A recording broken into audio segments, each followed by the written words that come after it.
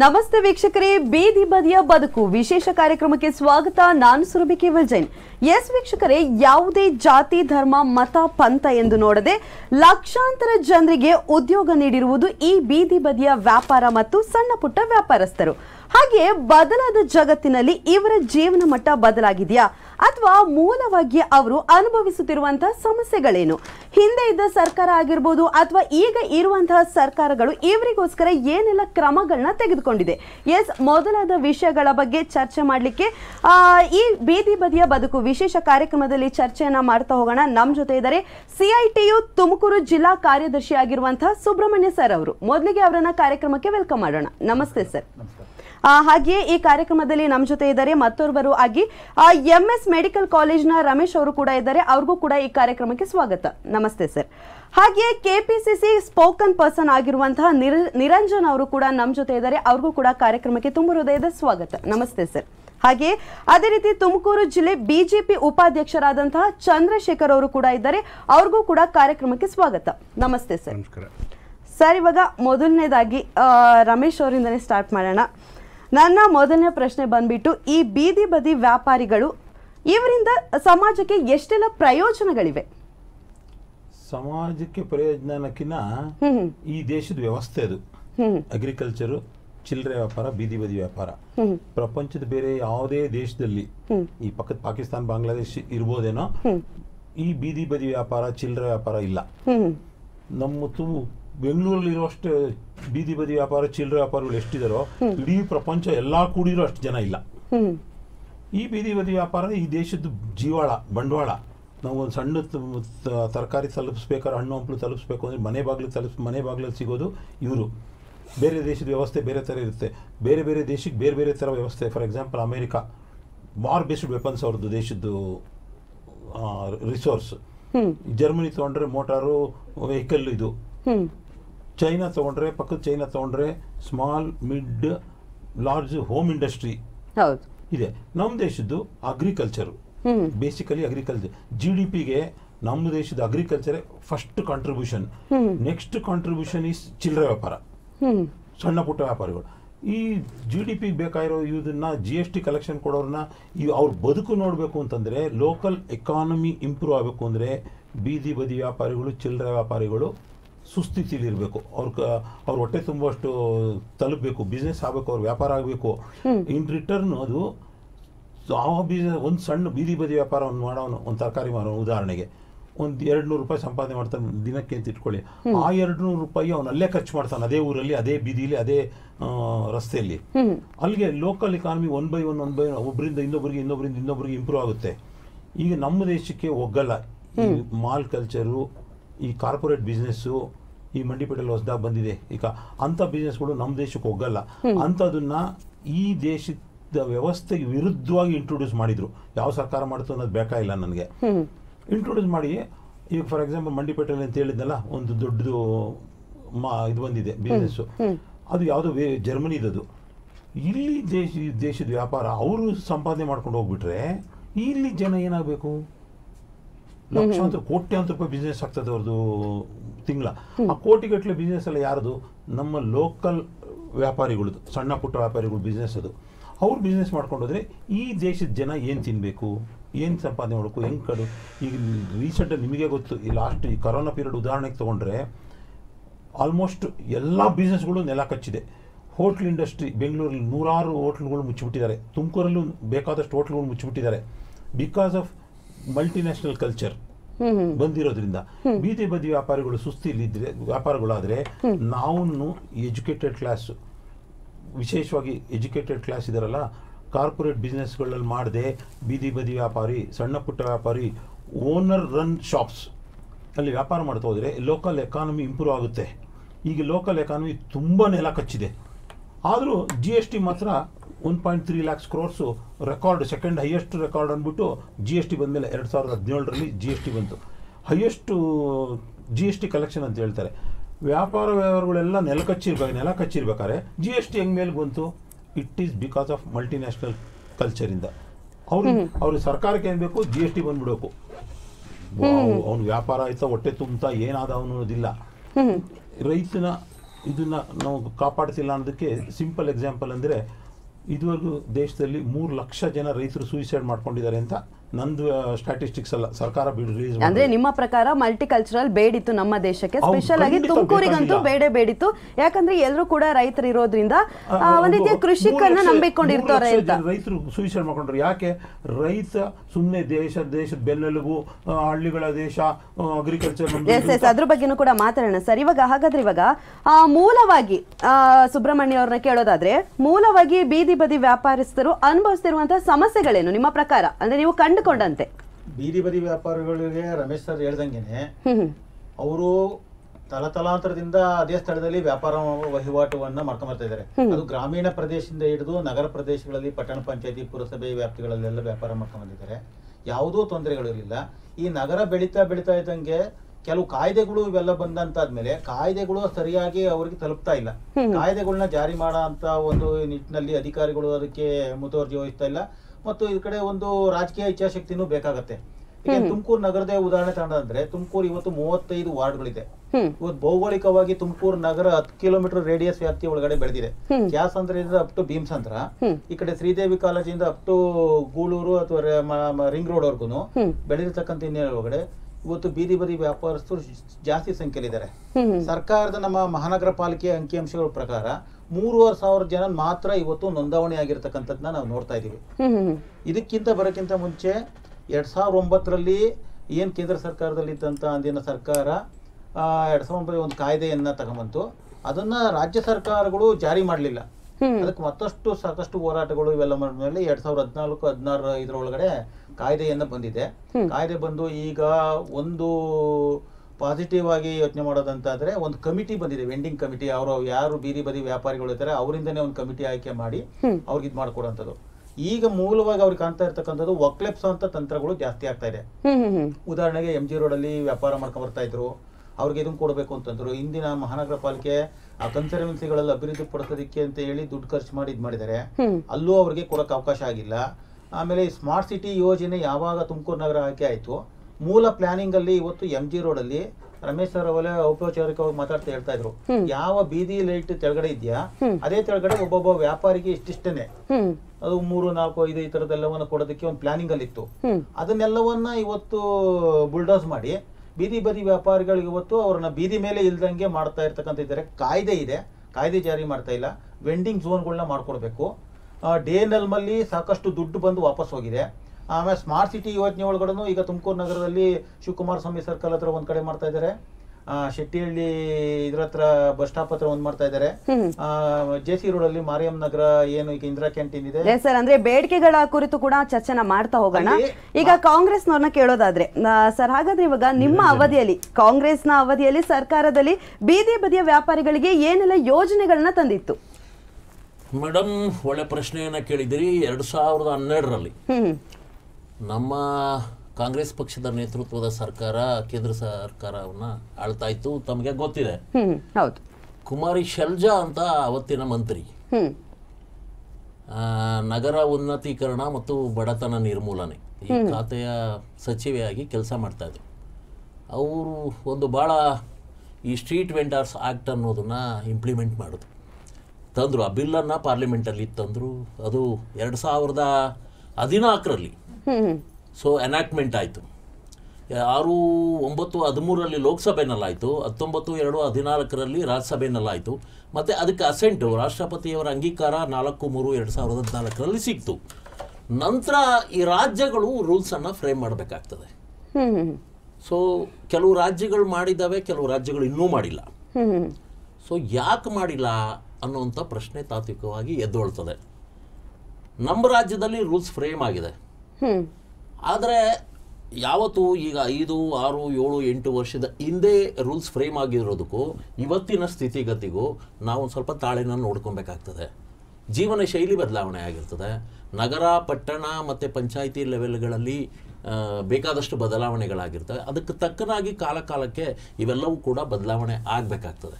ನಮ್ಮ ಜನಪ್ರತಿನಿಧಿಗಳು, ಸಾಮಾಜಿಕ ಹೋರಾಟಗಾರರು, ಈ ಬೀದಿ ಬದಿ ವ್ಯಾಪಾರಿಗಳ ಸಂಘಟನೆಯವರು, ಇವರು ಕಾಲ ಕಾಲಕ್ಕೆ ಸರ್ಕಾರವನ್ನು ಎಚ್ಚರಿಸ ಎಚ್ಚರಿಸಬೇಕಾಗ್ತದೆ. ಆದರೆ ಆ ಎಲ್ಲೋ ಒಂದು ಕಡೆ ನಾನು ಈಗ ನೋಡ್ತಾ ಇದ್ದೆ. ನಿಮ್ಮ ಸ್ಟುಡಿಯೋಗೆ ಬಂದು ಕುಂತ್ಕೊಂಡು ಆ ರೂಲ್ಸ್ ಫ್ರೇಮಿಂಗ್ ಎಲ್ಲ ಟೋಟಲಿ ನೋಡ್ತಾ ಇದ್ದೆ. ಒಂದು ರಿಡ್ರೆಸಲ್ ಕಮಿಷನ್ ಅಂತ ಇದೆ. ಆ ರಿಡ್ರೆಸಲ್ ಕಮಿಷನ್ಗೆ ಸಿವಿಲ್ ಜಡ್ಜ್ ಚೇರ್ಮನ್ ಆಗಬೇಕು ಅಂತ ಇದೆ. ಎಲ್ಲಿಂದ ತರುತ್ತೆ ಸರ್ಕಾರ ಸಿವಿಲ್ ಜಡ್ಜ್ ಅಂದ್ರೆ ನೇರವಾಗಿ ಯಾರನ್ನ ದೂಷಿಸ್ತಿದ್ದೀರಾ ನೀವು? ಅಲ್ಲ ನಾನು ನೇರವಾಗಿ ಅಂತ ಅಲ್ಲ ನಾನು ವ್ಯವಸ್ಥೆಯನ್ನ ದೂಷಿಸ್ತಾ ಇದ್ದೀನಿ. ಇಲ್ಲಿ ಏನಾಗ್ತದೆ ಲಾ ಡಿಪಾರ್ಟ್ಮೆಂಟ್ನಲ್ಲಿ ಕುಂತ್ಕೊಂಡು ಈ ಕಾನೂನು ಮಾಡುವಂತ ಮಹಾಶಯರಿದಾರಲ್ಲ ಸಾಧ್ಯನಾ ಇದು ಅಂತ ಯೋಚನೆ ಮಾಡ್ಬೇಕಾಗ್ತದೆ ನಾವು. ಒಬ್ಬ ಒಂದು ಎಲೆಕ್ಟ್ ಮಾಡಬೇಕು ಅಂತಂದ್ರೆ ಒಬ್ಬ ಮೆಂಬರ್ನ ಎಲೆಕ್ಟ್ ಮಾಡಬೇಕು ಅಂತಂದ್ರೆ ಕಾರ್ಪೊರೇಷನ್ ಒಬ್ಬೇ ಒಬ್ಬ ಮೆಂಬರ್ನ ಎಲೆಕ್ಟ್ ಮಾಡುವಂತ ಕೆಪಾಸಿಟಿ ಇದೆ. ಸೊ ಏನ್ ಮಾಡ್ತಾರೆ ಅವರು ಸೊ ಸಾಧಕ ಬಾಧಕಗಳನ್ನು ನೋಡಬೇಕಾಗ್ತದೆ. ಅವು ಆಕೆ ಕುಮಾರಿ ಶೆಲ್ಜಾ ಅನ್ನೋರು ಒಂದು ಒಳ್ಳೆಯ ಉದ್ದೇಶ ಇಟ್ಕೊಂಡು ಈ ಕಾನೂನನ್ನು ರಚನೆ ಮಾಡಿದ್ರು. ಈ ಕಾನೂನನ್ನು ಪಾರ್ಲಿಮೆಂಟಿಗೆ ತಂದರು. ಪಾರ್ಲಿಮೆಂಟಲ್ಲಿ ಪಾಸ್ ಆಯಿತು ಆದರೆ ರಾಜ್ಯಗಳು ಇದನ್ನು ನಾನು ಆ ರಾಜ್ಯ ಈ ರಾಜ್ಯ ಆ ಪಕ್ಷ ಈ ಪಕ್ಷ ಅಂತ ಹೇಳ್ತಾ ಇಲ್ಲ. ಒಟ್ಟಾರೆಯಾಗಿ ಬೀದಿ ಬದಿಗಳ ಹಿತರಕ್ಷಣೆಗೋಸ್ಕರ ಬೀದಿ ಬದಿ ವ್ಯಾಪಾರಿಗಳ ಒಂದು ಹಿತರಕ್ಷಣೆಗೋಸ್ಕರ ಕಾಲ ಕಾಲಕ್ಕೆ ಇರುವಂಥ ಅಡೆತಡೆಗಳನ್ನು ನಿವಾರಣೆ ಮಾಡಿ ಸೊ ಈ ಕಾನೂನನ್ನು ಸದುಪಯೋಗ ಪಡಿಸ್ಕೊಬೇಕಾಗ್ತದೆ ಆದರೆ ಇದು ಇದುವರೆ ಇನ್ನೂರು ಆಗಿಲ್ಲ. ಸುಬ್ರಹ್ಮಣ್ಯ ಅವರು ಸ್ವಲ್ಪ ಸ್ಥೂಲವಾಗಿ ಹೇಳಿದ್ರು.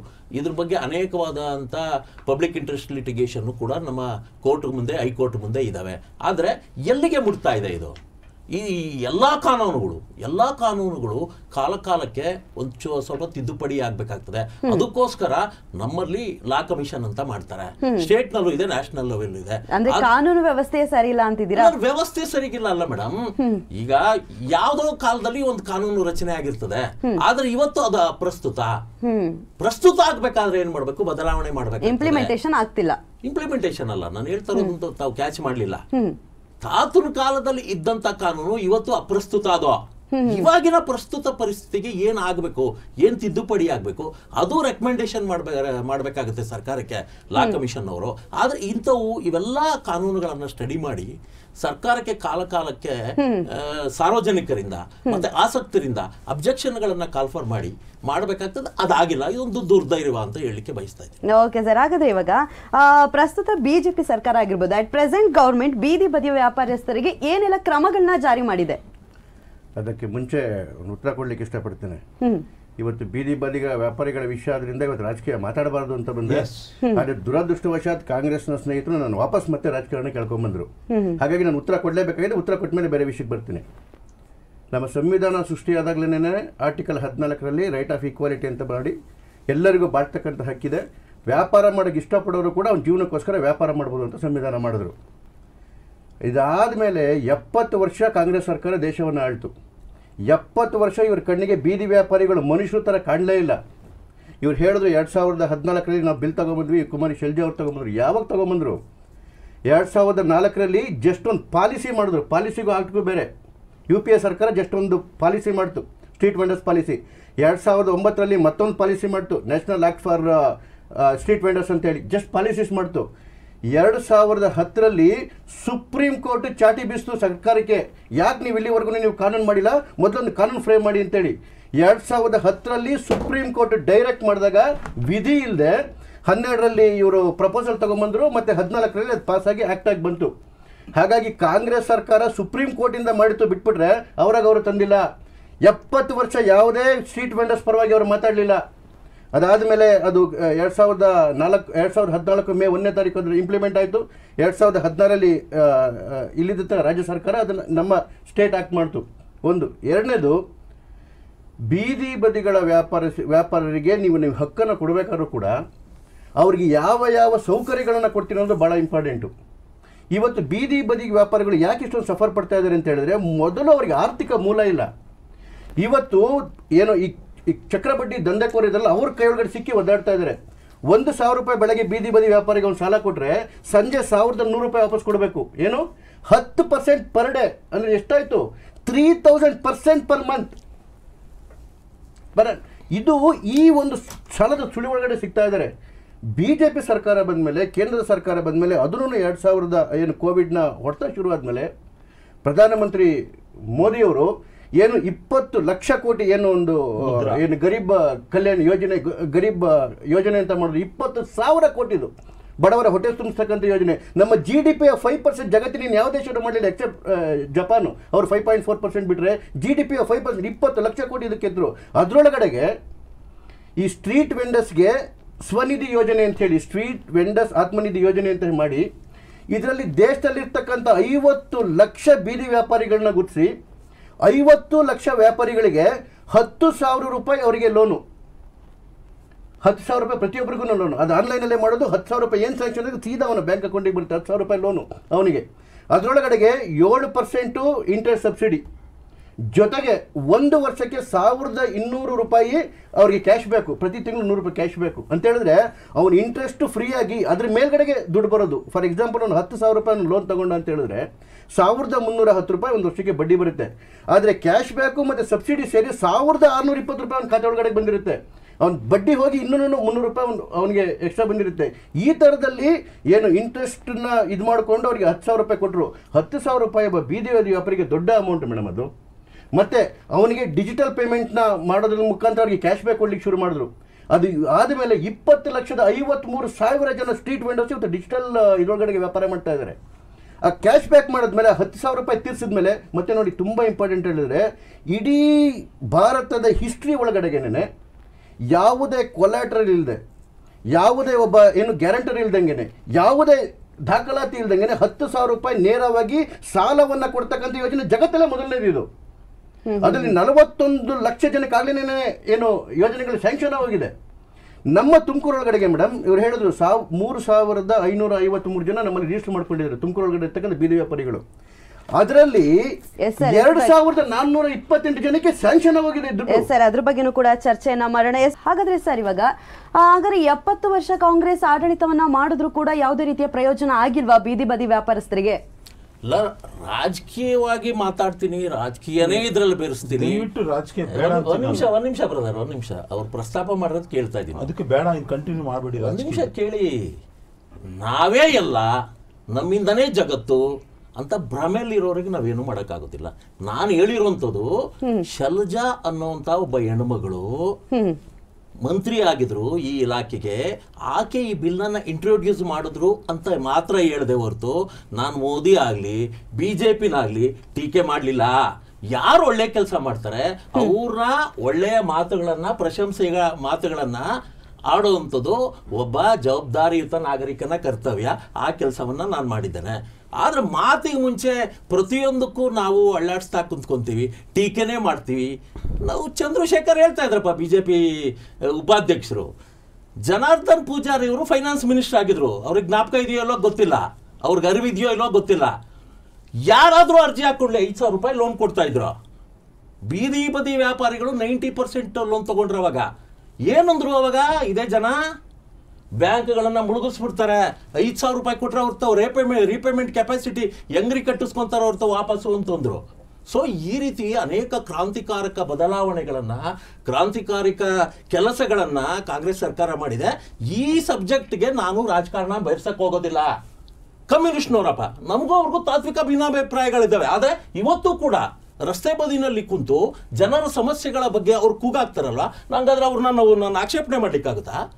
ಪ್ರಜಾಪ್ರಭುತ್ವ ರಾಷ್ಟ್ರದಲ್ಲಿ ಒಂದ್ ನಿಮಿಷ ಬ್ರದರ್ ಸಂವಿಧಾನದಲ್ಲಿ ಅಡಿನಲ್ಲಿ ನಾವೆಲ್ಲ ಕೆಲಸ ಮಾಡ್ತಾ ಇದ್ದೀವಿ. ನಾವು ಸರ್ಕಾರದ ಆಗುಹೋಗುಗಳನ್ನ ಸರ್ಕಾರದ ತಪ್ಪುಗಳನ್ನ ಪ್ರಶ್ನೆ ಮಾಡ್ತೀವಿ ಅಂತಂದ್ರೆ ಇಲ್ಲ ಇಲ್ಲ ಇಲ್ಲ ಎಲ್ಲ ನಾವೇ ಮಾಡ್ಬಿಟ್ಟಿದ್ದೀವಿ.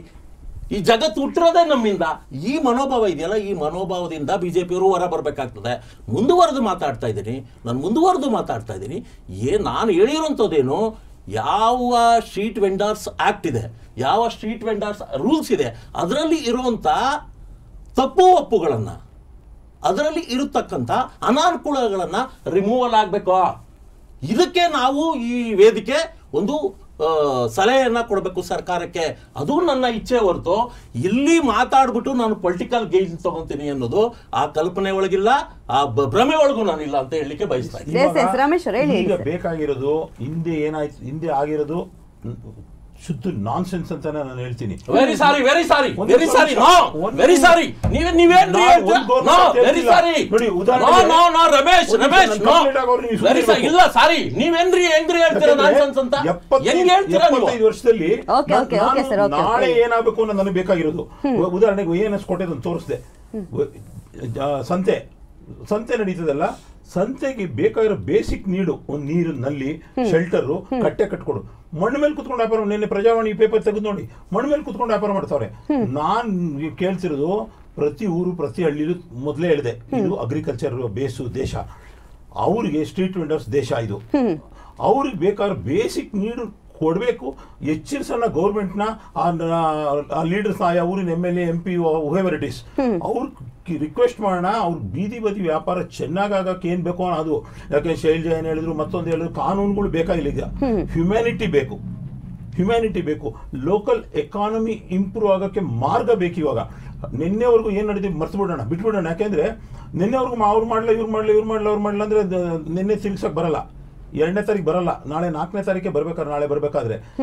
ಈ ಉದಾಹರಣೆಗೆ ವೈ ಎನ್ ಎಸ್ ಕೋಟೆ ಯಾಕೆ ತಗೊಂಡೆ ಅಂತಂದ್ರೆ ಐವತ್ತರವತ್ತು ವರ್ಷದಿಂದ ಸಂತೆ ಮಾಡ್ತಿರೋರು ಮಣ್ಣು ಮೇಲೆ ಕುತ್ಕೊಂಡು ವ್ಯಾಪಾರ ಮಾಡ್ತಾರೆ ಇನ್ನೆಷ್ಟು ವರ್ಷ ಮಾಡ್ಬೇಕು ಇದು ನನ್ನ ಉದ್ದೇಶ. ಆ ಮನೆ ಮೇಲೆ ಕುತ್ಕೊಂಡು, ಆ ಧೂಳು ಕುಡ್ಕೊಂಡು, ಅವರು ಆರೋಗ್ಯಕ್ಕೋಸ್ಕರ ದೇಶ ಅಲ್ಲಿ ಕೋಟಿಗಟ್ಟಲೆ ದುಡ್ಡು ಖರ್ಚು ಮಾಡ್ತದೆ.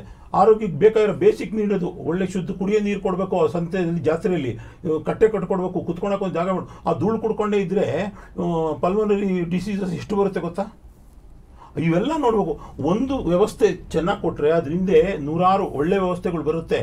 ಇದನ್ನ ನನ್ನ ಉದ್ದೇಶ. ನನಗೆ ನನ್ನ ಉದ್ದೇಶ ನಿನ್ನೆ ಯಾರು ಏನು ಮಾಡಿದ್ರು ಏನು ಕೆದಕ್ಬಿಟ್ರು ಅನ್ನೋದಲ್ಲ. ನಿನ್ನೆವರೆಗೂ ಆಗಿರೋದು ನಿಜ ನಾನು ಹೇಳಿದ್ದೆ ನಿಜ. ಎಲ್ಲಿ ಗೊತ್ತು ಫಾರ್ ಎಕ್ಸಾಂಪಲ್ ತುಮಕೂರಲ್ಲಿ ಮಾರ್ಕೆಟ್ ಇದ್ದಿದ್ದು ತಗೊಂಡ್ ತೊಗೊಂಡೋಗ್ಬಿಟ್ಟು ಅಲ್ಲೆಲ್ಲ ಕೊರಟಗೆರೆ ರೋಡ್ಗೆ ಆ ಊರಾಚೆಗೆ ಹಾಕ್ಬಿಟ್ರು. ಬನ್ನಿ ಒಬ್ಬರು ವ್ಯಾಪಾರಿನೂ ಅಲ್ಲಿ ಸಂತೋಷವಾಗಿಲ್ಲ. ಎಲ್ಲೆಲ್ಲಿ ತುಮಕೂರು ಇಷ್ಟು ದೊಡ್ಡ ಊರಿಗೆ ನಾಲ್ಕು ಕಡೆ ಒಂದು ಚಿಕ್ಕ ಚಿಕ್ಕ ಮಾರ್ಕೆಟ್ ರೆಡಿ ಮಾಡ್ಕೊಡ್ಬೇಕಾಯ್ತು. ಮಾಡಿಕೊಟ್ಟಿದ್ರೆ ಅವಾಗ ಲೋಕಲ್ ಎಕಾನಮಿ ಇಂಪ್ರೂವ್ ಆಗ್ತದೆ ಅವ್ರ ಬದುಕು ಇಂಪ್ರೂವ್ ಆಗ್ತದೆ ಆ ಹೆಲ್ತ್ ಇಂಪ್ರೂವ್ ಆಗ್ತದೆ ಇಂಡೈರೆಕ್ಟಾಗಿ ಹೆಲ್ತ್ ಇಂಪ್ರೂವ್ ಆಗ್ತದೆ. ಈ ವ್ಯವಸ್ಥೆ ಕೊಡಬೇಕು ಅನ್ನೋದು ನನ್ನ ಉದ್ದೇಶ. ಇವಾಗ ಇವಾಗಲೂ ಕಾಲ ಮಿಂಚಿಲ್ಲ ಆಗೋಯ್ತು. ಓಕೆ ಹಾಗಾದ್ರೆ ಹೇಳಿದ್ರಿ ಸರ್ ಇವಾಗ ಬೀದಿ ಬದಿ ವ್ಯಾಪಾರಸ್ಥರ ಮುಂದೆ ರಾಜಕೀಯವನ್ನ ತರೋದು ಬೇಡ. ರಾಜಕೀಯದ ಮುಖಾಂತರ ಅವರನ್ನ ನೋಡೋದು ಬೇಡ ಅಂತ ಹೇಳ್ಕೊಂಡು. ಹಾಗಾದ್ರೆ ಈಗ ಅವ್ರಿಗೆ ನ್ಯಾಯವನ್ನ ದೊರಕಿಸ್ಕೊಡೋದು ಯಾರು? ಯಾರು ಸರ್ಕಾರ ವ್ಯವಸ್ಥೆ ಕೊಡಬೇಕು ಸರ್ಕಾರ ಕೊಡಿಸ್ಬೇಕು. ಯಾರು ಬಿಜೆಪಿ ಕಾಂಗ್ರೆಸ್ ಕಮ್ಯುನಿಸ್ಟ್ ನಾನು ಹೇಳ್ತಿಲ್ಲ. ಸರ್ಕಾರ ಇವತ್ತು ಬಿಜೆಪಿ ಸರ್ಕಾರ ಬಂದು ಯಾವ ಸರ್ಕಾರ ಬಂತು? ಯಾರು ಬಂದ್ರು ಅವ್ರ ಹಿತ ಕಾಪಾಡಕ್ಕೋಸ್ಕರ ಪ್ರಾಜೆಕ್ಟ್ ಪ್ಲಾನ್ ಈ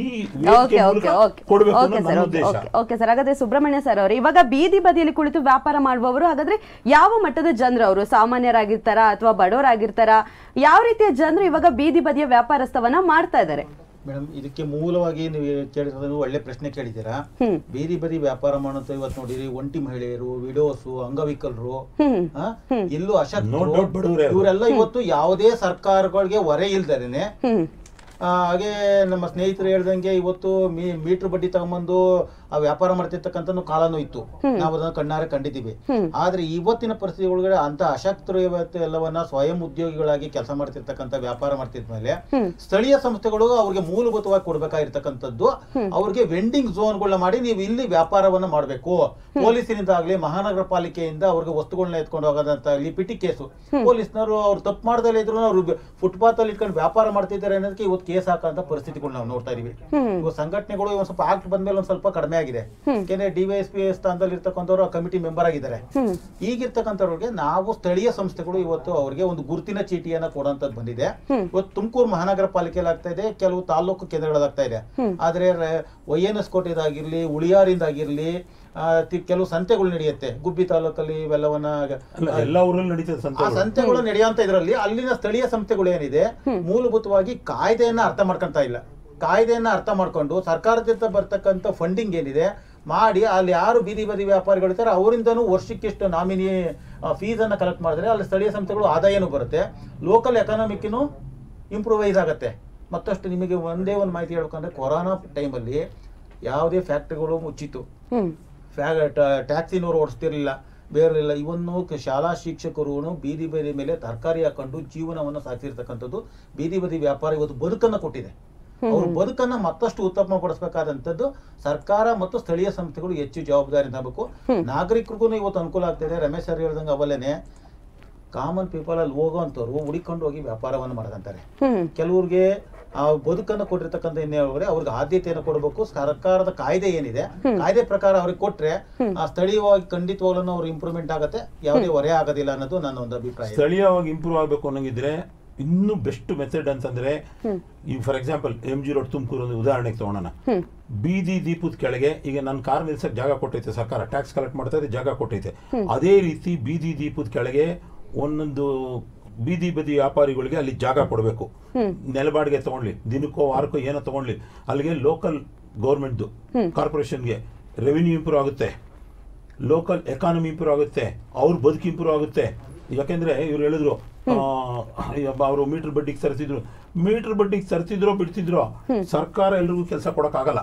ಯಾಕೆಂದ್ರೆ ಸರ್ಕಾರ ಇರೋದು ಸರ್ಕಾರಿ ನೌಕರಿ ಇರೋದು ಓನ್ಲಿ ಒನ್ ಪರ್ಸೆಂಟ್ ಇನ್ ತೊಂಬತ್ತೊಂಬತ್ತು ಪರ್ಸೆಂಟ್ ಸೆಲ್ಫ್ ಉದ್ಯೋಗಿಗಳೇ ಇರೋದು. ಸೆಲ್ಫ್ ಎಂಪ್ಲಾಯ್ಡ್ ಇರೋದು ದೇಶದಲ್ಲಿ. ನಮ್ಮ ಈಗ ತುಮಕೂರು ತಗೊಳ್ಳೋಣ ಒಂದು ಪರ್ಸೆಂಟ್ ಅಷ್ಟೇ ಸರ್ಕಾರಿ ನೌಕರಿ. ಮಿಕ್ಕಿದವ್ರಿಗೆ ಸರ್ಕಾರ ಕೆಲಸ ಕೊಡೋಕ್ಕಾಗಲ್ಲ. ಅಟ್ಲೀಸ್ಟು ಅವ್ರ ಜೀವನ ನಡೆಸೋಕ್ಕೆ ಅವ್ರು ಏನು ವ್ಯಾಪಾರ ಮಾಡ್ತಾರೋ ಆ ವ್ಯಾಪಾರ ಮಾಡೋಕ್ಕೆ ಒಂದು ವ್ಯವಸ್ಥಿತವಾದ ಕೊಡಬೇಕು. ಯಾಕೆಂದರೆ ಯಾರು ಬಂಡವಾಳ ಹೂಡಿ ನಾಲ್ಕು ಜನಕ್ಕೆ ಕೈ ನಾಲ್ಕು ಕೈಗಳಿಗೆ ಕೆಲಸ ಕೊಡ್ತಾರೋ ಖಂಡಿತವಾಗಿ ಹೇಳ್ತೀನಿ ಅವ್ರನ್ನೇ ಈ ದೇಶ ಈ ವ್ಯವಸ್ಥೆ ಈ ಕಾನೂನುಗಳು ಹಿಂಡ್ಕೊಂಡು ತಿಂತಾ ಇರೋದು.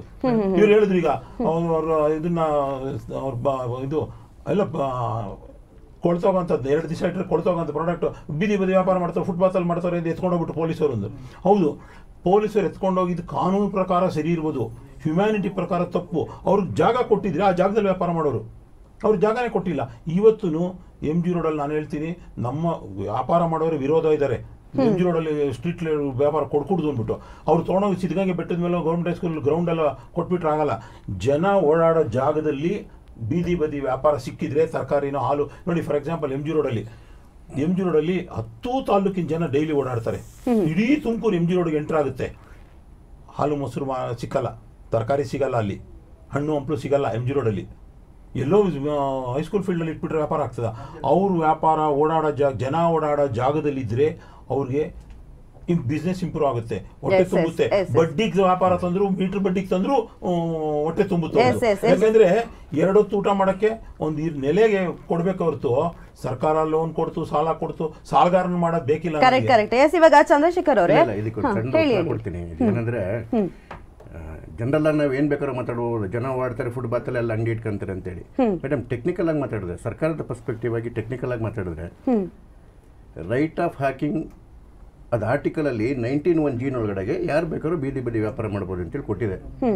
ಅದೇ ರೀತಿ ರೈಟ್ ಆಫ್ ಕಮ್ಯೂಟ್ ಕಮ್ಯೂಟರ್ ಅಂತೇಳಿ ಆರ್ಟಿಕಲ್ ನೈನ್ಟೀನ್ ಒನ್ ಡಿ ಏನ್ ಹೇಳುತ್ತೆ ಅಂತ ಹೇಳಿದ್ರೆ ಪಾದಚಾರಿಗೂ ಕೂಡ ಅವನು ಓಡಾಡ್ತಕ್ಕಂಥ ದಾರಿ ಒಳಗಡೆ ಯಾವುದೇ ಅಡೆಡ್ತಾರೆ ಬರಬಾರ್ದಂತ ಹಕ್ಕು ಅವನಿಗಿದೆ.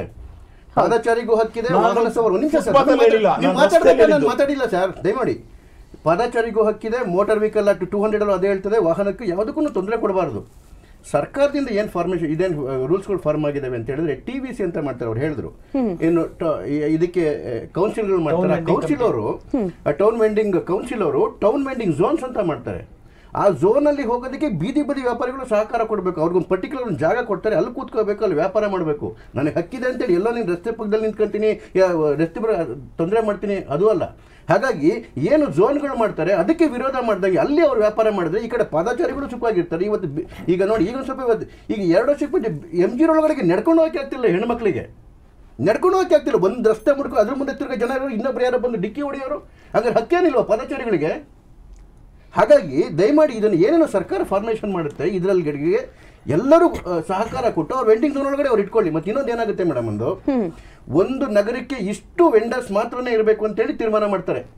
ನಿಮಗೆ ಅದು ಎಲ್ಲೆಲ್ಲೂ ಇದಿರ್ಬೇಕು ಹಾಸ್ಪಿಟಲ್ ಪಕ್ಕದಲ್ಲಿ ವೆಂಡಿಂಗ್ ಮಾಡಬಾರ್ದು ಸ್ಕೂಲ್ ಪಕ್ಕದಲ್ಲಿ ಮಾಡಬಾರ್ದು ಅಂತೇಳಿ ರೂಲ್ಸ್ಗಳೇ ಇದೆ ಅದು. ಸಣ್ಣ ರಸ್ತೆ ಇರುತ್ತೆ ಅಲ್ಲಿ ಅಲ್ಲಿ- ಅಲ್ಲಿ ವೆಂಡರ್ಸ್ ಮಾಡಬಾರ್ದು ಅಂತೇಳಿ ಈಗ ನೋಡಿ ಎಷ್ಟು ಇರುತ್ತೆ ಅಂತೇಳಿ ಅವರೇ ಡಿಸೈಡ್ ಮಾಡ್ತಾರೆ. ಅಷ್ಟು ಜನಕ್ಕೆ ಮಾತ್ರನೇ ಪರ್ಮಿಷನ್ ಕೊಡ್ತಕ್ಕಂಥದ್ದು. ಈಗ ಎರಡು ಸಾವಿರ ಜನಕ್ಕೆ ಇದೆ ಅಂತೇಳಿ ನಾಲ್ಕು ಸಾವಿರ ಅಪ್ಲಿಕೇಶನ್ ಬಂದರೆ ಅದಕ್ಕೆ ಡ್ರಾ ಡ್ರಾ ಆಗ್ತಾರೆ. ಅದ್ರಲ್ಲಿ ಎರಡು ಸಾವಿರ ಮಾತ್ರನೇ ಆಗೋದು. ಮಿಕ್ಕಿದವರೆಲ್ಲ ಗಲಾಟೆ ಮಾಡ್ಕೊಂಡು ಇಲ್ಲ ನಮಗೆ ನಮ್ಗೆ ಹಕ್ಕಿದೆ ವ್ಯಾಪಾರ ಮಾಡ್ತೀವಿ ಅಂತ ಎಲ್ಲರೂ ರಸ್ತೆ ಬದಿ ಒಳಗಡೆ ಕುತ್ಕೊಬಿಟ್ರೆ ಜನರು ಬದುಕೋದಾಗಿ ಇದ್ರೊಳಗಡೆಗೆ. ಹಾಗಾಗಿ ಏನು ಸರ್ಕಾರ ಮಾಡ್ಕೊಂಡು ಹೋಗುತ್ತೆ ಅದಕ್ಕೆ ಸಹಕಾರ ಕೊಟ್ಕೊಂಡು ಆ ಝೋನ್ ಒಳಗಡೆ ವ್ಯಾಪಾರ ಮಾಡ್ಕೊಂಡ್ರೆ ನಗರನೂ ಶುದ್ಧವಾಗಿರ್ತದೆ ಎಲ್ಲರೂ ಕೂಡ ಖುಷಿಯಾಗಿರ್ತಾರೆ. ಅಂದ್ರೆ ಇವಾಗ ಸರ್ಕಾರದ ಯೋಜನೆಗಳು ಬರೀ ಭರವಸೆ ಆಗಿದೆಯಾ ಅಥವಾ ಏನಾದರೂ ಕಾರ್ಯರೂಪ ಕಾರ್ಯರೂಪಕ್ಕೆ ಬಂದಿದೆ ಮೇಡಮ್. ಹಂಡ್ರೆಡ್ ಪರ್ಸೆಂಟ್ ಇದೊಂದೇ ಕಡೆ ನಾನು ಕರ್ನಾಟಕದ ಎಷ್ಟೇ ಮಾಡಿ ಇಡೀ ದೇಶ ಒಳಗಡೆಗೆ ಕಾರ್ಯರೂಪಕ್ಕೆ ಬಂದಿದೆ. ಈಗ ಉದಾಹರಣೆಗೆ ನೋಡಿ ದೆಹಲಿ ಒಳಗಡೆಗೆ ನಾಲ್ಕೂವರೆ ಲಕ್ಷ ಜನಕ್ಕೆ ಪರ್ಮಿಷನ್ ಕೊಟ್ಟಿದ್ದಾರೆ. ಬಾಂಬೆ ಅದಕ್ಕಿಂತ ಜಾಸ್ತಿ ಇದ್ರು ಅಲ್ಲಿನ ಸ್ಟ್ರಕ್ಚರ್ ನೋಡ್ಕೊಂಡು ಬರೀ ಎರಡೂವರೆ ಲಕ್ಷ ಕೊಟ್ಟಿದ್ದಾರೆ. ಏನಾಗುತ್ತೆ ಅಂತ ಹೇಳಿದ್ರೆ ಆ ಊರು ಸ್ಟ್ರೀಟ್ ಸ್ಟ್ರೀಟ್ಗಳು ಹದಿನೈದು ಅಡಿ ರಸ್ತೆ ಇದ್ರೆ ನಿಮ್ಗೆ ಅದರೊಳಗಡೆಗೆ ನಡೆದೋಡಕ್ಕೆ ಜಾಗ ಇರಲ್ಲ ವೆಹಿಕಲ್ ಹಾಕಿ ಜಾಗ ಇಲ್ಲ ಅದನ್ನ ನೋಡ್ಕೊಂಡು ಪ್ರತಿಯೊಂದು ಈಗ ಬೆಂಗಳೂರಲ್ಲಿ ಸುಮಾರು ಒಂದು ಕಾಲು ಲಕ್ಷ ಪರ್ಮಿಷನ್ಗೆ ಜಾಗ ಇದೆ ಹಾಗಾಗಿ ಪ್ರತಿಯೊಂದು ನಗರಕ್ಕೂ ಟೆಕ್ನಿಕಲ್ ಆಗಿ ನೋಡಿ ಅಲ್ಲಿರ್ತಕ್ಕಂಥ ಜನಸಂಖ್ಯೆ ಎಲ್ಲ ಅನುಗುಣವಾಗಿ ಒಂದಷ್ಟು ಪರ್ಮಿಷನ್ಗಳು ಮಾಡ್ಕೊಂಡು ಹೋಗ್ತಾರೆ. ಎಲ್ಲ ಕಡೆಗೆ ಇಂಪ್ಲಿಮೆಂಟ್ ಆಗ್ತಾ ಬರ್ತಾ ಇದೆ ಮೇಡಮ್ ಅದು.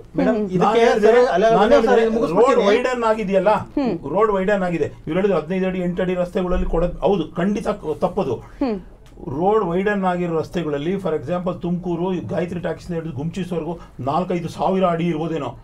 ಒಂದು ಒಂದು ಇನ್ನು ಇನ್ನೂರು ಒಂದು ಇನ್ನೂರು ಸ್ಟ್ರೀಟ್ ಲೈಟ್ ಇರ್ಬೋದು. ಇನ್ನೂರು ಜನಕ್ಕೆ ಪ್ರೊವೈಡ್ ಮಾಡ್ಬೋದು ಅಲ್ಲಿ ಸ್ಟ್ರೀಟ್ ಲೈಟ್ ಕೆಳಗೆ ಒಂದು ಕಾರ್ ನಿಲ್ಸೋ ಜಾಗದಲ್ಲಿ ಕೊಟ್ರೆ ಅಲ್ಲಿ ಫುಟ್ಪಾತಲ್ಲಿ ಇಟ್ಕೊಳಕ್ಕೆ ಹೇಳ್ತಿಲ್ಲ ನಾನು. ಕಾರ್ ಓಡಾಡ ಕಾರ್ ಪಾರ್ಕಿಂಗ್ ಜಾಗದಲ್ಲಿ ಅಷ್ಟು ಮಾತ್ರ ಕೊಟ್ಟರೆ ಅವರಿಗೆ ನೆಲಬಾಡಿಗೆ ಬರ್ತದೆ ಲೋಕಲ್ ರೆವಿನ್ಯೂ ಇಂಪ್ರೂವ್ ಆಗ್ತದೆ. ಅಲ್ಲಿ ಜನ ಓಡಾಡೋ ಕಡೆ ಸಿಗ್ಬೇಕೆ ಹೊರತು ಎಂಡಿಂಗ್ ಝೋನ್ ಅಂತ ಎಲ್ಲೋ ಹೊರಗಡೆ ಮಾಡ್ಬಿಟ್ಟು ಅಲ್ಲಿಗೆ ಹೋಗಿ ಸರ್ಕಾರಿ ತಗೋಬೇಕು ಅಲ್ಲಿಗೆ ಹೋಗಿ ಹಾಲು ವಸ್ತು ತಗೊಳ್ಳಿದ್ರೆ ಕಾರ್ಪೊರೇಟ್ ವ್ಯವಸ್ಥೆ ಇಂಪ್ರೂವ್ ಆಗುತ್ತೆ. ಚಂದ್ರಶೇಖರ್ ಮತ್ತು ರಮೇಶ್ ಸರ್ ಹೇಳ್ದಂಗೆನೆ ತುಮಕೂರು ಸ್ಮಾರ್ಟ್ ಸಿಟಿ ಬಂದಂತ ಸಂದರ್ಭದಲ್ಲಿ ರಮೇಶ್ ಅವರು ಹೇಳಿದಂತ ಕಾನ್ಸೆಪ್ಟ್ ಅವರು ಯೋಜನೆ ಒಳಗಡೆ ಇತ್ತದು ತೋರಿಸಿದ್ರು ಅದನ್ನ. ಡೆಮಾನ್ಸ್ಟ್ರೇಷನ್ ಮಾಡಿ ತೋರಿಸಿದ್ರು. ಯಾವ ಗುಬ್ಬಿರಿನ ಕಲಾಕ್ಷೇತ್ರದಲ್ಲಿ ಈ ಯೋಜನೆ ಹಿಂಗ್ ಬರುತ್ತೆ ಫೀಡ್ ಫುಟ್ಪಾತ್ ವ್ಯಾಪಾರಿಗಳಿಗೆ ಮಾಡ್ಕೊಡ್ತೀವಿ ಅಂತ. ಅದನ್ನ ಮಾಡ್ಲಿಲ್ಲ. ಎಂ ಜಿ ರೋಡ್ ಅಲ್ಲಿ ಕನ್ಸರೆನ್ಸಿಯನ್ನ ಫುಟ್ಪಾತ್ ವ್ಯಾಪಾರಿಗಳಿಗೆ ಅಂತಾನೆ ಅದನ್ನ ಅಭಿವೃದ್ಧಿ ಪಡಿಸಿದ್ರು. ಇವತ್ತರ ನಮ್ಮ ಹತ್ರ ಡಾಕ್ಯುಮೆಂಟ್ಸ್ ಎಲ್ಲ ಇದೆ. ನಾವು ಇವತ್ತು ಅದನ್ನ ಕೋರ್ಟ್ ಅಲ್ಲಿ ಚಾಲೆಂಜ್ ಮಾಡಕ್ಕೆ ಸಂಘಟನೆಗಳು ಇವೆಲ್ಲವನ್ನ ಮುಂದಾಗ್ತಾ ಇದೀವಿ. ಅದೇ ರೀತಿ ಒಳಗಡೆ ಚಂದ್ರಶೇಖರ್ ಹೇಳ್ದಂಗೆ ಯಾವ ಬೀದಿ ಬದಿ ವ್ಯಾಪಾರಿಗಳನ್ನ ಇನ್ನೊಂದ್ ಕಡೆ ಇಲ್ಲಿ ವ್ಯಾಪಾರ ಮಾಡಬಾರ್ದು ಅಂತಂದ್ರೆ ಅವ್ರಿಗೆ ಪರ್ಯಾಯ ವ್ಯವಸ್ಥೆಯನ್ನ ಮಾಡ್ದಲೆ ಅವ್ರನ್ನ ಅಲ್ಲಿಂದ ಒಕ್ಲೆ ಬರಬಾರ್ದು ಅಂತ ಹೇಳಿ. ಆಕ್ಟ್ ಅಲ್ಲಿ ಸ್ಪಷ್ಟವಾಗಿದೆ. ಅದನ್ನ ಇವತ್ತು ಮಾಡ್ತಾ ಇಲ್ಲ ಯಾರು. ಆಮೇಲೆ ರಮೇಶ್ ಅವ್ರು ಹೇಳ್ದಾಗ ಇನ್ನೊಂದು ಪಾಯಿಂಟ್ ಜನ ಎಲ್ಲಿ ಓಡಾಡ್ತಾರೆ ಅಲ್ಲಿರ್ಬೇಕು. ಆಮೇಲೆ ಅವ್ರು ಹೇಳ್ದಂತ ಒಂದು ಪಾಯಿಂಟ್ ಇದೆ. ಇಲ್ಲಿ ಕೆಲವು ಕಡೆ ನಾನ್ ಝೋನಿಂಗ್ ಅಂತ ಹೇಳಿ ಮಾಡೋದಕ್ಕೆ ಟಿ ಬಿ ಸಿ ಕಮಿಟಿಗಳಿಗೆ ಅಧಿಕಾರ ಇದೆ. ಅವರು ಗುರುತುಪಡಿಸಿ ಇಲ್ಲಿ ವ್ಯಾಪಾರ ವಹಿ- ಮಾಡಂಗಿಲ್ಲ ಈಗ ಉದಾಹರಣೆಗೆ ನೀವು ತಗೊಳೋದು ಅಂತಂದ್ರೆ ಬೆಂಗಳೂರಿನಲ್ಲಿ ನಾಲ್ಕು ಗಂಟೆಯಿಂದ ಹತ್ತು ಗಂಟೆ ಮಾತ್ರ ವ್ಯಾಪಾರ ಮಾಡಬೇಕು ಅಂತ ಪರ್ಮಿಷನ್ ಕೊಟ್ಟಿದ್ದಾರೆ. ಬೆಳಿಗ್ಗೆ ನೀವು ಆರರಿಂದ ಹತ್ತು ಗಂಟೆವರೆಗೂ ವ್ಯಾಪಾರ ಮಾಡಬೇಕು ಅಂತ ಇದ್ದಾರೆ. ಆ ತರ ವ್ಯವಸ್ಥೆಯನ್ನು ಮಾಡ್ಬೋದು. ಇದರ ಆಕ್ಟಲ್ಲಿ ಇದೆ. ಆ ಟೈಮಿಂಗ್ಸ್ ಅನುಗುಣವಾಗಿ ಇವೆಲ್ಲವನ್ನು ಮಾಡೋದಕ್ಕೆ. ಆಮೇಲೆ ಇನ್ನೊಂದು ಪಾಯಿಂಟ್ ಇರ್ತಕ್ಕಂಥದ್ದು ಇದಕ್ಕೆಲ್ಲವನ್ನು ಪರ್ಯಾಯ ಮಾಡ್ಬೇಕಾದ್ರೆ ಒಂದು ತುಮಕೂರು ನಗರ ಬೆಳೆದಿರ್ತಕ್ಕಂಥ ಕಡೆ ನಾಲ್ಕು ಕಡೆ ಮಿನಿ ಮಾರ್ಕೆಟ್ಗಳು ಮಾಡಿದ್ರೆ ಸಾರ್ವಜನಿಕರಿಗೂ ಅನುಕೂಲ ಆಗುತ್ತೆ. ಮತ್ತು ನಮ್ಮ ಪೊಲ್ಯೂಷನ್ ಓಡಾಟ ಇದು ಕನ್ಸಂಪ್ಷನ್ ಇವೇನೇನು ಇರುತ್ತೆ ಇವಕ್ಕೆಲ್ಲವನ್ನು ಪರಿಕ ಪರಿಹಾರ ಕಾಣಕ್ಕಾಗತ್ತೆ. ನಿರಂತರವಾಗಿ ಇದನ್ನ ನಾವು ನಗರ ಪಾಲಿಕೆ ಮತ್ತು ಸ್ಥಳೀಯ ಯಾರು ಶಾಸಕರುಗಳು ಇರ್ತಾರೆ ಅವ್ರಿಗೆಲ್ಲವನ್ನ ಗಮನ ತರ್ತಾ ಇದೀವಿ ಬಡ್ಜೆಟ್ ಸೆಷನ್ ಸಂದರ್ಭದಲ್ಲಿ ಇದನ್ನ ಏನಾರ ಒಳಗೊಡ್ಬೇಕು ಅಂದಾಗ ನಾಲ್ಕು ಮಿನಿ ಮಾರ್ಕೆಟ್ಗಳು ಮಾಡಿದ್ರೆ ಒಂದು ಪರ್ಯಾಯ ವ್ಯವಸ್ಥೆಯನ್ನ ಕಾಣೋದಕ್ಕಾಗತ್ತೆ. ಇರ್ತಕ್ಕಂಥ ಇದರೊಳಗಡೆ ನಮ್ಮ ತುಮಕೂರಿನಲ್ಲಿ ಈಗ ಮೂರುವರೆ ಸಾವಿರ ಜನ ಇದ್ದಾರೆ. ಆ ಏರಿಯಾ ಒಳಗಡೆನೆ ಅಲ್ಲಲ್ಲೇ ಮಾಡಿದ್ರೆ ಕನ್ಸರೆನ್ಸಿಗಳು ಈಗ ಶಿವಮೊಗ್ಗದಲ್ಲಿ ಕನ್ಸರೆನ್ಸಿ ಇಂಪ್ರೂವ್ಮೆಂಟ್ ಮಾಡ್ಕೊಡ್ತಾ ಇದ್ದಾರೆ. ಫುಡ್ ಝೋನ್ ಅಂತ ಹೇಳಿ ಒಂದು ಬ್ಯೂಟಿಫುಲ್ ಆಗಿ ಮಾಡಿದ್ದಾರೆ. ಇಡೀ ಕರ್ನಾಟಕಕ್ಕೆ ನಂಬರ್ ಒನ್ ಶಿವಮೊಗ್ಗ ಹಾಸನದಲ್ಲಿ ಮಾಡಿದ್ದಾರೆ. ಹಣ್ಣು ಇವಕ್ಕೆಲ್ಲವನ್ನ ಆ ಥರ ಯೋಜನೆ ತುಮಕೂರಿನಲ್ಲಿ ಬರಬೇಕು ಅನ್ನೋದು ನಮ್ಮ ಒತ್ತಾಸೆ. ಎಸ್ ಎಸ್ ಎಸ್ ರಮೇಶ್ ಅವ್ರ, ಇವಾಗ ಹಾಗಾದ್ರೆ ಇವಾಗ ತುಮಕೂರು ನಗರದಲ್ಲಿ ಹೇಳಿ ನೀವು ಪರ್ಟಿಕ್ಯುಲರ್ ಆಗಿ ತುಮಕೂರು ನಗರ ಅಂತ ತಗೊಂಡ್ರಿ ಅವಾಗ. ಅದಕ್ಕೋಸ್ಕರ ಕೇಳ್ತಾ ಇರೋದು ಸೊ ಬೀದಿ ಬದಿ ವ್ಯಾಪಾರಸ್ಥರಿಗೆ ಈ ಕಿರಾಣಿ ಅಂಗಡಿಗಳು, ಒಂದ್ ರೀತಿಯ ಹೊಡೆತವನ್ನ ಬಿದ್ದಿದ್ಯಾ? ಕಿರಾಣಿ ಅಂಗಡಿಗಳಿಂದ ಬೀದಿ ಬದಿ ವ್ಯಾಪಾರಸ್ಥರಿಗೆ ಹೊಡೆತ ಬಿದ್ದಿದ್ಯಾ? ಇಲ್ಲ ಅವರು ಅವರು ರಸ್ತೆ ಬದಿ ಚಿಕ್ಕ ವ್ಯಾಪಾರ. ಅಂದ್ರೆ ಇವಾಗ ದೊಡ್ಡ ದೊಡ್ಡ ಕಂಪನಿಗಳನ್ನು ಕೂಡ ಅದನ್ನ ನಾವು ತಗೊಳ್ಬಹುದು ದೊಡ್ಡ ದೊಡ್ಡ ಕಂಪನಿಗಳಿಗೂ ಆಗಿರ್ಬೋದು ನೀವು ಹೇಳಿದಾಗೆ ಕೆಲವೊಂದು ಹೆಸರುಗಳನ್ನ ಹೇಳಲಿಕ್ಕೆ ಆಗಲ್ಲ ದೊಡ್ಡ ದೊಡ್ಡ ಕಂಪನಿಗಳಾಗಿರ್ಬೋದು. ಇದರಿಂದ ಹೊಡೆತ ಬಿದ್ದಿದ್ಯಾ ಬೀದಿ ಬದಿ ವ್ಯಾಪಾರಸ್ಥರಿಗೆ? ಒಂದು ಉದಾಹರಣೆ ಹೇಳ್ಬೇಕು ಅಂದ್ರೆ ಎಸ್ ಟಿ ಬ್ಯಾಕ್ ಗೇಟ್ ಅಲ್ಲಿ ಒಂದು ಲೇಡಿ ಒಂದು ಪ್ರಾವಿಷನ್ ಸ್ಟೋರ್ ನಡೆಸ್ತಾರೆ. ಅಲ್ಲೊಂದು ಕಾರ್ಪೊರೇಟ್ ಬಿಸ್ನೆಸ್ ಶಾಪ್ ಬರಕ್ ಮುಂಚೆ she used to do about twenty thousand business ಇಪ್ಪತ್ತು ಸಾವಿರ ಬಿಸ್ನೆಸ್ ಮಾಡ್ತಿದ್ರು. ಆ- ಹುಡುಗಿ ಇಂಟರ್ವ್ಯೂ ಮಾಡಿದ್ನ ಆ ಲೇಡಿ ಇಂಟರ್ವ್ಯೂ ಮಾಡಿದ್ ನನ್ನ ಜೊತೆಯಲ್ಲಿ ಇಪ್ಪತ್ತು ಸಾವಿರ ಬಿಸ್ನೆಸ್ ಮಾಡ್ತೀವಿ ನಾನು ಇಬ್ಬರು ಮೂವರು ಕೆಲಸದವ್ರು ಇಟ್ಕೊಂಡಿದ್ದೆ. ಆ ಕಾರ್ಪೊರೇಟ್ ಬಿಸ್ನೆಸ್ ಬಂದಮೇಲೆ ಐದು ಸಾವಿರ ಆರು ಸಾವಿರ ಬಂದಿದೆ ಬಿಸ್ನೆಸ್ಸು ಬಿಸ್ನೆಸ್ ನಡೀತಿಲ್ಲ ಇವತ್ತು ತುಂಬ ಕಷ್ಟ ಇದೆ. ಕಾರ್ಪೊರೇಟ್ ವ್ಯವಸ್ಥೆಯಲ್ಲಿ ನೋಡಿ ಅವರು ಜಾಬು ಕರ್ಬ್ ಮಾಡ್ತಾರೆ ಇದು ಅರ್ಥ ಮಾಡ್ಕೊಳ್ಳಿ. ಯಾಕೆಂದ್ರೆ ಫಾರ್ ಎಕ್ಸಾಂಪಲ್ ನೀವು ಊಹೆ ಮಾಡ್ಕೊಳ್ಳಿ. ಒಂದು ಕಾರ್ಪೊರೇಟ್ ಶಾಪ್ ಒಳಗೆ ಹೋಗ್ತೀವಿ ನೀವೇ ಟ್ರಾಲಿ ತಳ್ಕೊಂಡೋಗಿ ನೀವೇ ಐಟಮ್ ತುಂಬ್ಕೊಂಡ್ಬಂದು ಅಲ್ಲಿ ತಂದು ಕೊಡ್ತೀರಾ? ಅಲ್ಲಿ ನಾಲ್ಕು ಜನ ಕೆಲಸ ಮಾಡೋ ಕೆಲಸ ಕಸ್ಟಮರ್ ಮಾಡೋದು. ಅವ್ರಿಗೆ ಬಾಂಡೆಡ್ ಲೇಬರ್ ನಾವು. ಕಾರ್ಪೊರೇಟ್ ಕಾರ್ಪೊರೇಟ್ ಶಾಪ್ಗಳಿಗೆ ನಾವೇ ತುಂಬ್ಕೊಂಡ್ಬರೋದು ಅಲ್ಲಿ ಬಿಲ್ ಹಾಕಿದ್ರೆ ತಳ್ತಾರೆ ನಾವೇ ಚೀಲ ತುಂಬ್ಕೊಂಡು ಬರಬೇಕು. ಅಲ್ಲಿಗೆ ಅಲ್ಲಿ ಹತ್ತು ಜನ ಕೆಲಸ ಮಾಡೋ ಕಡೆ ಇಬ್ಬರಿಗೆ ಕೆಲಸ ಕೊಟ್ಟಿರೋದಲ್ಲಿ. ಈ ಪ್ರಾವಿಷನ್ ಸ್ಟೋರ್ ಬನ್ನಿ ಯಾವುದೇ ಅಂಗಡಿ ನಿಮ್ಮ ಮಂಡಿಪೇಟೆಯಲ್ಲಿ ಯಾವುದೇ ಅಂಗಡಿಗೆ ಎಂಟರ್ ಆಗಿ ಅಲ್ಲಿ ಸರ್ಕಾರ ಒಂದು ಕೆಲಸ ಕೊಡಬೇಕು ಅಂದರೆ ಜಾತಿ ಕೇಳುತ್ತೆ ಎಜುಕೇಷನ್ ಕ್ವಾಲಿಫಿಕೇಷನ್ ಕೇಳುತ್ತೆ. ಈ ಕಿರಾಣ ಅಂಗಡಿ ಅಂತ ಹೇಳಿದ್ರಲ್ಲ ಚಿಕ್ಕ ಚಿಕ್ಕ ವ್ಯಾಪಾರಸ್ಥರು ಜಾತಿನೂ ಕೇಳಲ್ಲ. ಎಜುಕೇಷನ್ ಕ್ವಾಲಿಫಿಕೇಷನ್ ಕೇಳಿ. ಏನಾರು ಓದಿ ಓದೇ ಇಲ್ವಾ ಬಾ ಕೆಲಸ ಮಾಡು. ಕೊಡ್ತಾರೆ. ಕೆಲಸ ಕೊಡುತ್ತೆ. ಅಲ್ಲಿಗೆ ಈವನ್ ಅನ್ಟಚಬಿಲಿಟಿ ಇದೆಯಲ್ಲ ಅಸ್ಪೃಶ್ಯತೆ ಅದಕ್ಕೂ ಪರೋಕ್ಷವಾಗಿ ಅನಿಸ್ತು ಡೈರೆಕ್ಟಾಗಿ ಅದಕ್ಕೆ ಒಂದು ಪರಿಹಾರ ಕೊಡ್ತಾ ಇದೆ ಈ ಕಿರಾಣ ಅಂಗಡಿ ವ್ಯಾಪಾರ ವ್ಯಾಪಾರಿ ವರ್ಗ. ಅದನ್ನ ಅರ್ಥ ಮಾಡ್ಕೋಬೇಕು. ನೀವು ಮಂಡಿಪೇಟೆಗೆ ಬನ್ನಿ. ಸೈನ್ ಮಾಡಕ್ ಬರ್ದಿರೋ ನೂರಾರು ಸಾವಿರಾರು ಜನ ಇದ್ದಾರೆ. ಅವ್ರಿಗೆಲ್ಲ ಸರ್ಕಾರ ಕೆಲಸ ಕೊಡುತ್ತಾ ನಾಳೆ? ಸಾಧ್ಯನಾ ಹೋಗ್ಲಿ ಅದಕ್ಕೋಸ್ಕರ ಆ ವರ್ಗನ ಪೋಷಿಸಬೇಕು. ಹೇಳ್ಬೇಕು ನಿಜ ಹೇಳ್ಬೇಕು ಅಂದ್ರೆ ಕೆಲವು ಕಾನೂನುಗಳು ಆ ವರ್ಗನ ಹಿಂಡ್ಕೊಂಡು ತಿಂತಾ ಇದೆ. For example G S T G S last month ಒಂದು G S T council ಬಂದ್ಬಿಟ್ರು sorry G S T commercial ಟ್ಯಾಕ್ಸ್ನವರು ಎಲ್ಲರಿಗೂ ಸಣ್ಣ ಪುಟ್ಟ ಅಂಗಡಿಯವ್ರಿಗೆ ಬಿಲ್ ಇಶ್ಯೂ ಮಾಡಿಲ್ಲ ಇಪ್ಪತ್ತು ಇಪ್ಪತ್ತು ಸಾವಿರ ಪೆನಾಲ್ಟಿ ಹಾಕ್ಬಿಟ್ರು. ಹೊರಪೇಟೆಯಲ್ಲಿ ಒಂದು ಮಾರ್ಕೆಟ್ ಇದೆಯಲ್ಲ ಅಲ್ಲಿ ಕೆಳ ಕೂತ್ಕೊಂಡು ವ್ಯಾಪಾರ ಮಾಡ್ತಿರ್ತಾರೆ. ಪ್ಲಾಸ್ಟಿಕ್ ಇದೆ. ಪ್ಲಾಸ್ಟಿಕ್ ಇದೆ ಅಂದ್ಬಿಟ್ಟು ಅವ್ರಿಗೆಲ್ಲರಿಗೂ ಇನ್ನೂರು ಮುನ್ನೂರು ಐನೂರು ಪೆನಾಲ್ಟಿ ಹಾಕ್ಬಿಟ್ರು. ಅವ್ರು ಪ್ಲಾಸ್ಟಿಕ್ ಅವ್ರು ಮ್ಯಾನುಫ್ಯಾಕ್ಚರ್ ಮಾಡ್ತಾರಾ? ಮ್ಯಾನುಫ್ಯಾಕ್ಚರ್ ಎಲ್ಲ ಆಗುತ್ತೆ ಅಂತ ಸರ್ಕಾರ ಗೊತ್ತಿಲ್ವಾ? ಎಲ್ಲಿ ಪ್ರೊಡ್ಯೂಸ್ ಆಗುತ್ತೋ ಅಲ್ಲಿ ಅಲ್ಲಿ ಕ್ಲೋಸ್ ಮಾಡಬೇಕು. ಈ ಸಣ್ಣ ಪುಟ್ಟ ವ್ಯಾಪಾರಿ ಸಣ್ಣ ಪುಟ್ಟ ವ್ಯಾಪಾರಿಗಳು ಬೀದಿ ಬದಿ ವ್ಯಾಪಾರಿಗಳು ಕಿರಾಣ ಅಂಗಡಿಗಳು ಹೇಳ್ತಾರಲ್ಲ ಇವರು ಉದ್ಯೋಗ ಸೃಷ್ಟಿ ಮಾಡೋರು. ಇವ್ರನ್ನ ಸರ್ಕಾರ ಸಪೋರ್ಟ್ ಮಾಡಬೇಕು ಒಂದರ್ಧಿ ಅದರ್ವೇ. ಸಪೋರ್ಟ್ ಮಾಡ್ತಿಲ್ಲ. ಇನ್ನು ಹಿಂಡ್ಕೊಂಡು ತಿಂತಾ ಇದೆ. ಇನ್ನೂರು ಇನ್ನೂರು ಮುನ್ನೂರು ಪೆನಾಲ್ಟಿ ಹಾಕ್ಬಿಟ್ರೆ ದಿನಕ್ಕೆ ಇನ್ನೂರು ರೂಪಾಯಿ ದುಡ್ಕೊತಾರೆ. ಇವ್ರು ಹೇಳ್ದಂಗೆ ವಿಡೋ ಇರ್ತಾರೆ ವಿಧವೆ ಇರ್ತಾರೆ ಗಂಡ ಇಲ್ದಿರೋರು ಇರ್ತಾರೆ ಮಕ್ಳಿಲ್ದಿರೋರು ಇರ್ತಾರೆ ಯಾನೋ ಕಷ್ಟಪಡ್ಕೊಂಡು ಅವತ್ತಿನ ಜೀವನ ಮಾಡ್ಕೊಂಡು ಹೋಗ್ತಿರ್ತಾರೆ. ಇನ್ನೂರು ರೂಪಾಯಿ ಪೆನಾಲ್ಟಿ ಹಾಕ್ಬಿಟ್ರೆ ಎಲ್ಲಿಂದ ತರ್ತಾರೆ ಅವರು? ಪ್ಲಾಸ್ಟಿಕ್ ಅವ್ರಿಗೆ ಪ್ರೊಡ್ಯೂಸ್ ಮಾಡಿದ್ರಾ? ಎಲ್ಲಿ ಪ್ರೊಡ್ಯೂಸ್ ಅಲ್ಲಿ ಕ್ಲೋಸ್ ಮಾಡಬೇಕು. ಇವನ್ ಸಿಗ್ದ ಇವನ ಮೇಲೆ ರಸ್ತೆ ಬದಿ ವ್ಯಾಪಾರಿ ಮೇಲೆ ಪೆನಾಲ್ಟಿ ಹಾಕ್ಬಿಡೋದು. ಇದೆಲ್ಲಿ ಹ್ಯುಮ್ಯಾನಿಟಿನ ಇದು? ಹೌದು ಕರೆಕ್ಟ್ ಅವ್ರ ಪರ್ಟಿಕ್ಯುಲರ್ ಪ್ಲಾಸ್ಟಿಕ್ ಅವರೆಲ್ಲ ಥಿಕ್ನೆಸ್ ಇಲ್ದಿ ಪ್ಲಾಸ್ಟಿಕ್ ಯೂಸ್ ಮಾಡಬಾರ್ದು ನಿಜ. ಆ ಬೀದಿ ಬದಿ ವ್ಯಾಪಾರಗಳು ಏನ್ ನಾಲೆಡ್ಜ್ ಇರುತ್ತೆ? ಅವ್ರಿಗೆ ಎಜುಕೇಟ್ ಮಾಡಿದಾರಾ? ಇಲ್ಲ. ಕರೆಕ್ಟ್ ಕರೆಕ್ಟ್ ಇವಾಗ ನಿರಂಜನ್ ಅವರೇ ಬೀದಿ ಬದಿ ವ್ಯಾಪಾರಸ್ಥರಿಗೆ ನಿಮ್ಮ ಸಲಹೆಗಳೇನಾಗಾದ್ರೆ? ಅನೇಕ ಸಮಸ್ಯೆಗಳಿದ್ದಾವೆ. ಆದರೆ ಆ ಬೀದಿ ಬದಿ ವ್ಯಾಪಾರಿಗಳಿದ್ದಾರಲ್ಲ ಅದಕ್ಕೆ ಸರಿಯಾದಂತಹ ಒಂದು ಸಂಘಟನೆಯ ಕೊರತೆ ಇವತ್ತು ಬಾಧಿಸ್ತಾ ಇದೆ. ಏನು ಆಕ್ಟ್ ಅಂಡ್ ರೂಲ್ಸ್ ಇದೆ ಅದ್ರ ತಳಗಡೆ ನಮಗೆ ಏನೇನು ಸವಲತ್ತುಗಳು ಸಿಕ್ಕಬೇಕು ನಾವು ಯಾವ ರೀತಿ ಬೀದಿ ಬದಿ ವ್ಯಾಪಾರಿಗಳು ಶೋಷಣೆಗೊಳಗಾಗ್ತಾ ಇದ್ದಾರೆ either from the government or officials or from others so ಆ ಗ್ರಿವೆನ್ಸ್ ರಿಮೂವಲ್ಗೆ ಏನು ಮಾಡಬೇಕು ಇವೆಲ್ಲವೂ ಕೂಡ ಇಡೀ ಚರ್ಚೆಗೆ ಬರಬೇಕಾಗ್ತದೆ.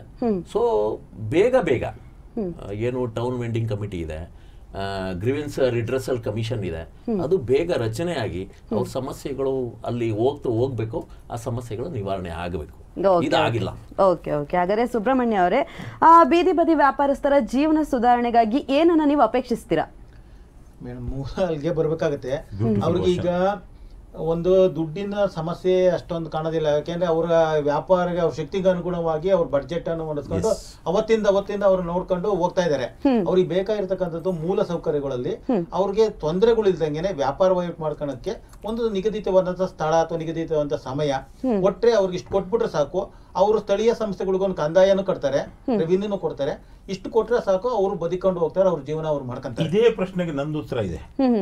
ಜೊತೆಯಲ್ಲಿ ನಾವು ಸಾರ್ವಜನಿಕರು ಆ ರಸ್ತೆ ಬದಿ ವ್ಯಾಪಾರಿ ಡೈಲಿ ಡೈಲಿ ಡೈಲಿ ನೂರು ಐನೂರು ದುಡ್ಕೊಂಡವ್ರಿಗೆ ಸಪೋರ್ಟ್ ಮಾಡಬೇಕು ಅವರಿಂದ ವ್ಯಾಪಾರ ಮಾಡಿ.